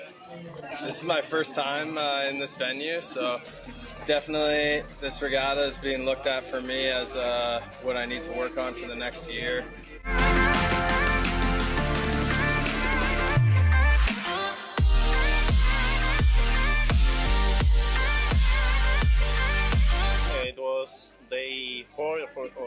Test event, and it was a super good day for me with a fifth and a first in the last race, so I'm very happy. Conditions were great. I think first race was a bit more tricky, but second race was like 12 to 14 knots and quite stable, so it was just about speed, and I think I got some good speed also upwind and downwind. I think it was quite stable. Uh, there was also some. Okay, so you get the idea. I don't want to run through the whole thing, but good conditions, good video produced here by our uh, friends in the Finn class, Robert Deaves and co.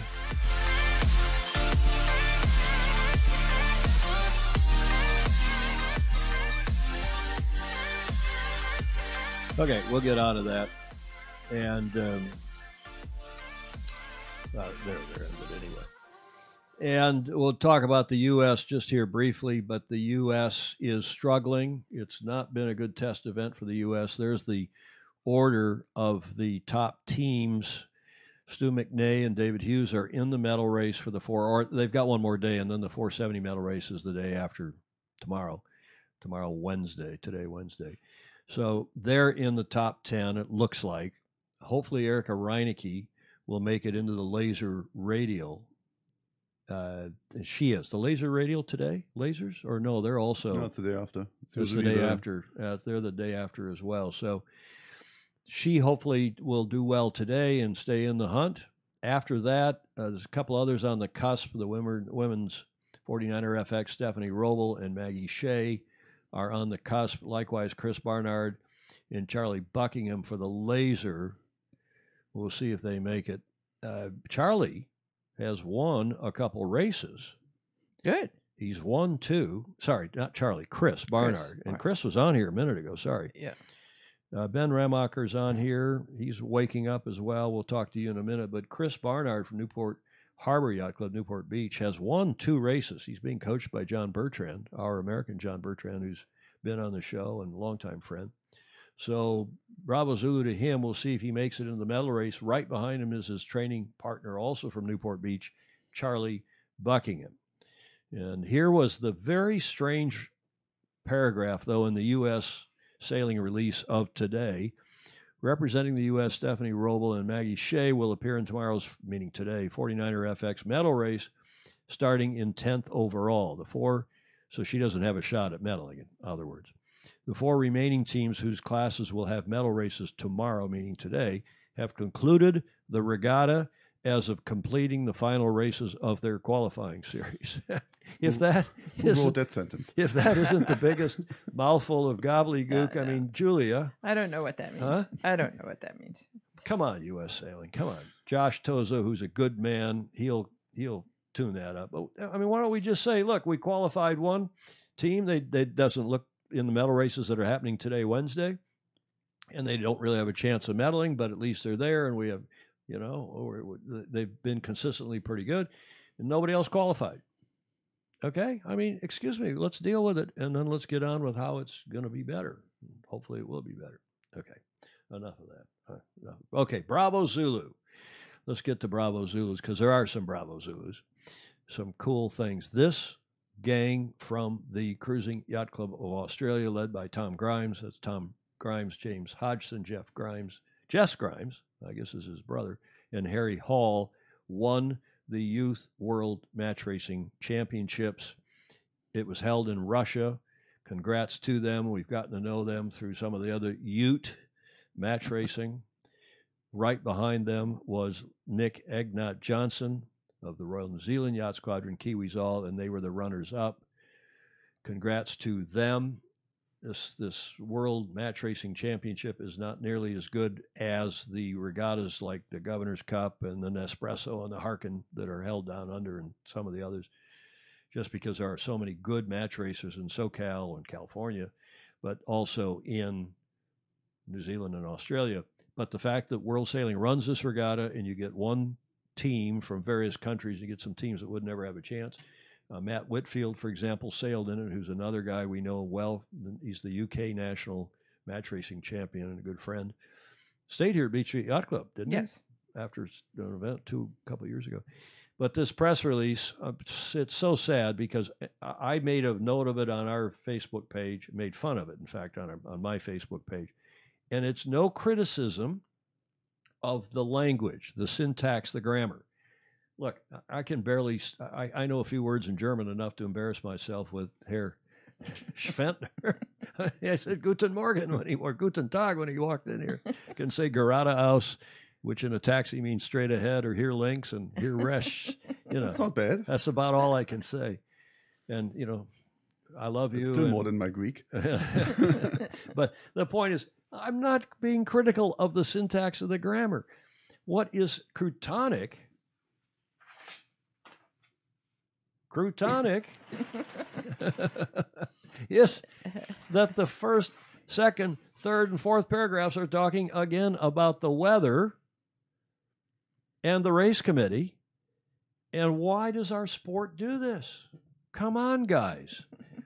That headline should be the Cruising Yacht Club of Australia's Tom Grimes and crew and co won the X. I don't know what this is the the tenth Youth Match Racing World fifth, whatever it is, sixth Youth Match Racing World Championship. Congrats to the you know not congrats, but just the facts, ma'am. But the lead are the names of the sailors. We're trying to make them heroes. We're trying to tell what yacht club they're from, what country they're from.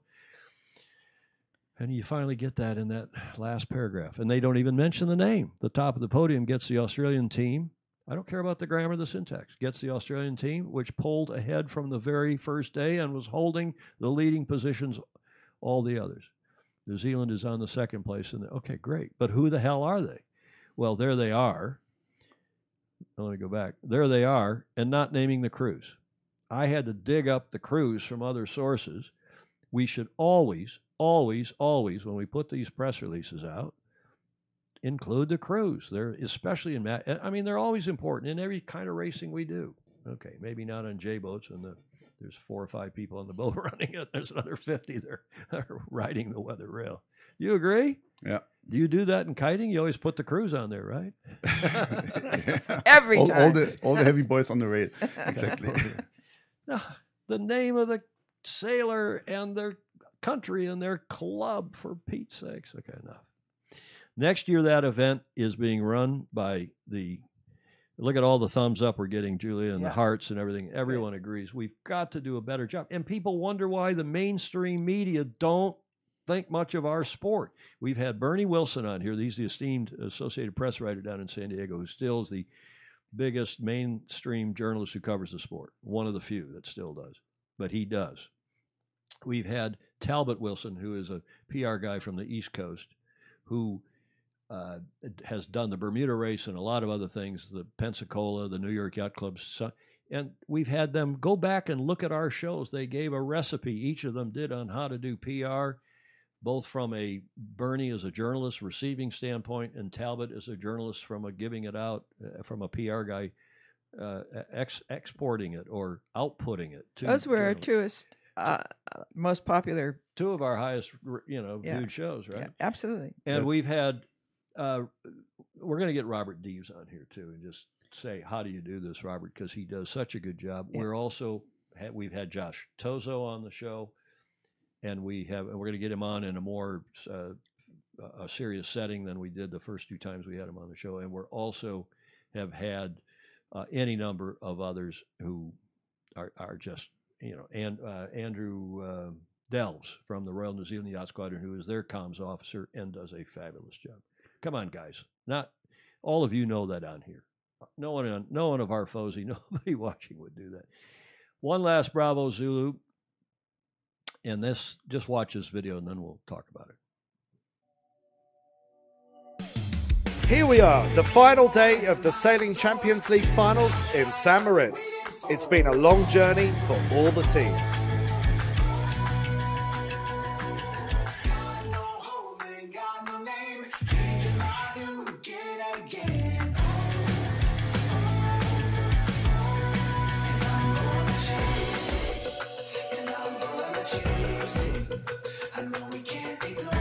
Congratulations to the winners, Royal Sydney Yacht Squadron from Australia. Royal Sydney Yacht Squadron is Sailing Champions League winner 2019. We look forward to seeing you next year for another season of the Sailing Champions League. Okay, so that is a fairly new event. This is what the second or third year, Markus. Yeah, that's um, the, this Champions League format is, is used by a lot of countries for their Bundesliga, like their national championship league Uh, between uh, clubs. yacht clubs. Um, and it's very successful. Now they're the European uh, tour, same same way as in soccer and the international one. Um, they use a similar system for the finals, by the way, with a carried forward Mm. points until someone has two, I think, in that Mm. case. Um, and it's it's really exciting. It's it's easy to follow.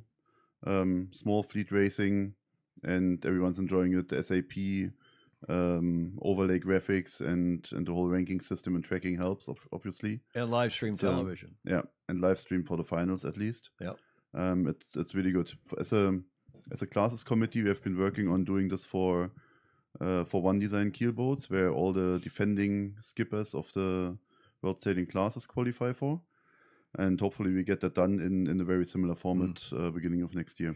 Well, It's- it's Bravo's Bravo Zulu to everyone working on that. I several of you sent that to me this morning. Said, "Hey, Tom, you should cover that on the show." So it's a short video, which I like, a one minute video, fifty second video, whatever that was. Told the whole story.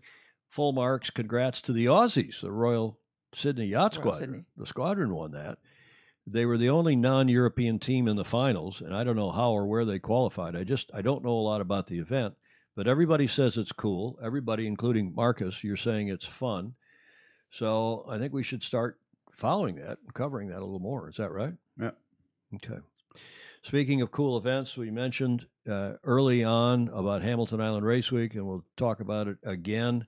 Mary Longpre sent a bunch of photos that are on her Facebook page, on my Facebook page. We'll put some up on the website toward the end of the week. She is down there covering it for Sailing Illustrated and just doing a bang up job. The boat of the day, today, Tuesday, it's getting to be Wednesday there now. It is Wednesday. Beau Geste, the uh, trimaran that they bought after last year and took uh, over to Asia. Karl Kwok and his boat captain, Gavin Brady. Karl, of course, is from the Royal Hong Kong Yacht Club. And uh, without going into the details, because we report on Friday, they had a spectacular day at Hamilton Island Race Week, which, again, if you ever have the chance to go to it, if you want to do something fun, make an effort to go there. I, I took the cup down there a few years ago and did a promotion prior to the 2013 America's Cup here in San Francisco. And and I, I didn't race. I didn't have time to race. I was only there for a couple of days, but I've never had more fun at a regatta than Hamilton Island Racing and a beautiful, beautiful facility. One last video that another of you said you got to look at, and I think you should. This club is an amazing club. You probably know it, Markus, from, on Lake Garda. You know this club. Have a look at. The, let's look at this video, and see what everybody thinks, and we'll talk about it on the other side.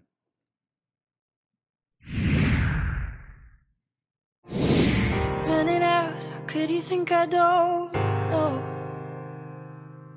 I've been around, but never somewhere this cold. You take away you want, but it's never, I'm never enough. I'm caught up in a fool's love.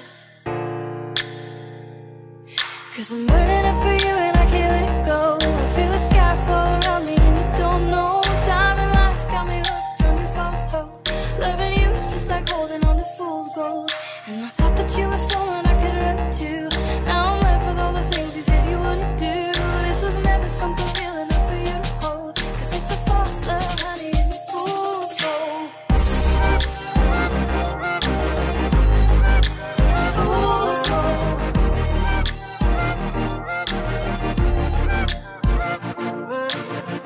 One more fight turns into more night. And I'm always gonna try and say that it's the last time. Want. Okay, I just I wanted you to see this because I think it is one of the coolest sailing videos I've seen in a long time. It's not all herky jerky and MTV esque cutting. Take look at this nice shot of the boats racing, nice music.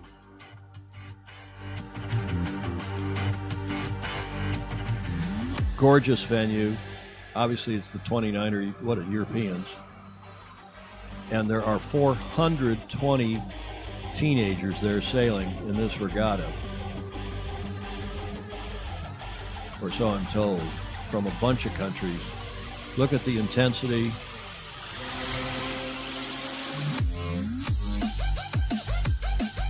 And if that doesn't inspire kids to go want to go sailing, I don't know what does, or even adults for that matter. I just think this is cool stuff. Full marks, Bravo Zulu, to the Circolo Vela Arco, which is obviously in Trentino.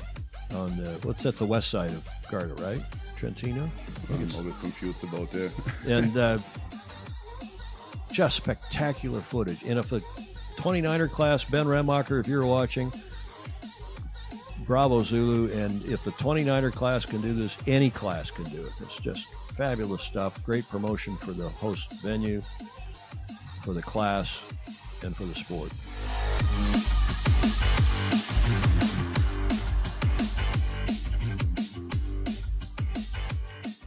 Okay, enough of all that. Let's get out of that and go to the American Cup boat race. A couple of slides. Everyone is asking me what were these slides about. Let me back up.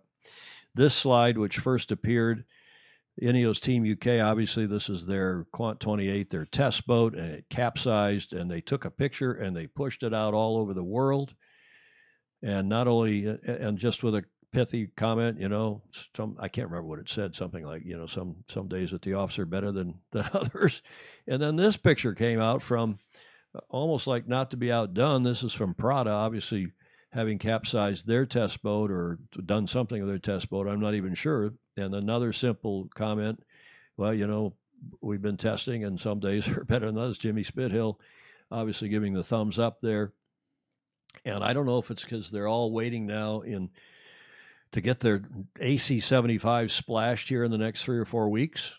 I guess all four of the big four teams are going to splash in September, maybe even yet this month. We'll see.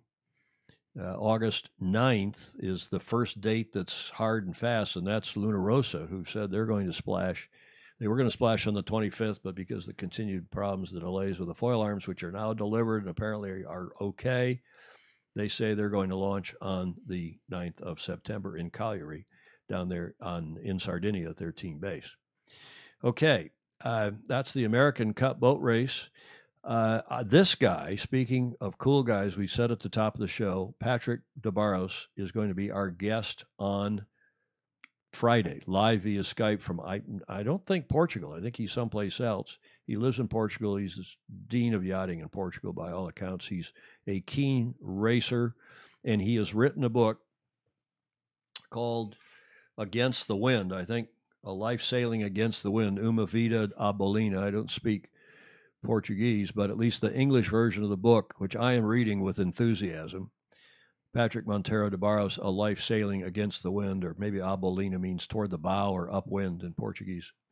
Uh, Patrick will be our guest, and he is an outspoken, great competitor, great uh, supporter of the sport, has given a lot of money to different aspects of the sport. Uh, I used to sit with him when we were on the events committee. He and I sat because they put you uh, uh, alphabetically around the table. Do they still do that? Yeah.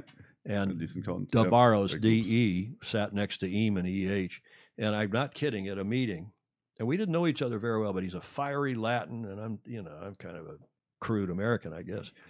And he said something, we were debating the pro am stuff. And we were writing the rule, and I was on the group that was writing it, and he wanted to, I, it doesn't even matter what we want.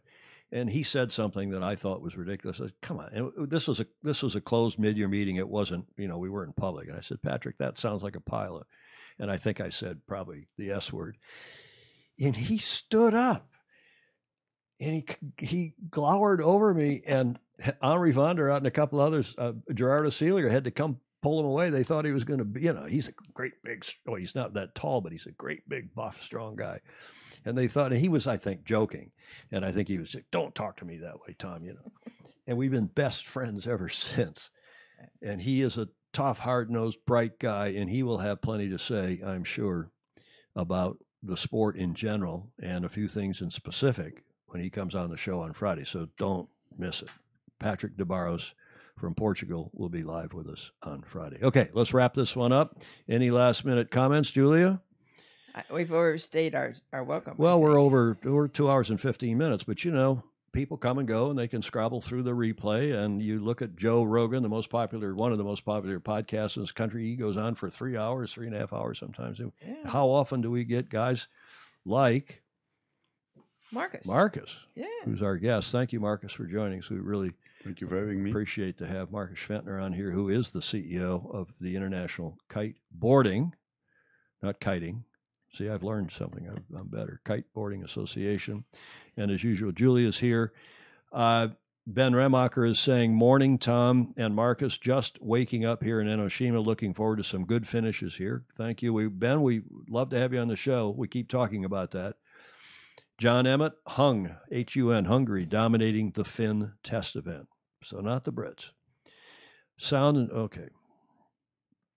Clark Chapin, Joan Winston, Richard Pfaff, Commodore Pfaff is watching from Watch Hill, Rhode Island. Clark Chapin, as my co- Clark, he is he is going to be the bard, the Sailing Illustrated bard. As my college roommate used to say, when the revolution comes, we're all going to we're going to fix all that. I think he's talking back about Steve Gruber and Co. What WTF? I guess Nick is the only one that matters. Oh, Steve, yeah, I'm sorry I didn't put. You're right, and I I should have put all the crew names on there, and if you can supply them, I'll read them off right now. But I couldn't find them. I, I somebody else sent me the stuff from uh, about the crew from the, uh, Tim. Is it Tim Grimes? The Grimes crew from Cruising Yacht Club. And if you're Steve, if you've got a um, if you've got a relative or somebody involved in that team, I'm happy to read their names out. And I'm sorry I could not find them. And I I started at five o'clock this morning. It's no excuse. We should always be including crew names. But I wasn't even going to put them on. I wasn't going to put the second place team on, but I had a, a picture, and I know Nick Egnot Johnson, but I, and that's another thing. U.S. Sailing is now putting names with pictures in press releases. Hooray! Hooray! They're. I've been bugging them to do it, and they're now doing this. Finn Class always does that. You do that. Picture the name and the caption, so we know who the hell. Otherwise, we don't know who they are. And people are lazy, and they just send the pictures out, and they don't put the names of the the sailors in it. And for us to try to deduce who they are is, you know, first of all, we're we're lazy. Journalists are lazy. The 400 boat fleet. Well, yeah, but but it doesn't matter. I'm not talking about naming everybody in a in a boat that's got you know that, that's got 15 people in it, or in a 400 boat fleet of single hand. I'm talking about when you put a picture up as a big picture in a press release. You do that. I've seen your press releases. There is Nico uh, Nicola Parlier. What's his name? Uh, Nico. Nico, Nico Parlier. And that's what we have to do. We have to do that. Okay. Steve Gruber says apparently it's a working day. Apparently, two work includes two hours of watching Sailing Illustrated. Uh, Katie Pettibone, Erica Kirby. You know, I agree with your dislike of herky jerky cutting. Thanks, Jack Everett. That's why I like that video. It is possible. Oh, been there, done that, but not on the AC 75. Ibuki Koz- Kozumi. Hello, Ibuki. Kozumi san. Kevin Brown and Lachy Gilmour. So they are waking up in West at WA. Apparently, uh, presumably, Lachy is in Perth, Western Australia, Royal Freshwater Bay Yacht Club, and one of the great Ute match racers, and now getting on and to be an adult match racer. Okay, Markus, anything else? No. Julia, anything else? Yes, don't forget to like, subscribe, and and join as a patron. Share us, give us the thumbs up. That always helps. And if you're so inclined, go on to our website, go to sailingillustrated.com and click on the patron Patreon little uh, orange bar at the top and join us because this is member supported media. We don't do any advertising. You see, we're not paid by anybody to mention the Kiteboarding Association or anyone else. Or not mention. Or not mention. Well, maybe there are some people who pay us not to mention. That's a good idea. That'd be a good gig. Anyway, thank you, everybody. Join us on Patreon. Like, share, and subscribe the show if you're so inclined, and we appreciate it very much. Hope to see you on the show on Friday. Nothing earth, er, short of something earth shaking in the meantime. We hope to see you Friday. Thanks again, Markus. Thank you, Julia. And we'll see you on Friday, God, Internet, and Facebook willing. In the meantime, sail fast, sail safe, and have fun. Ciao. Bye.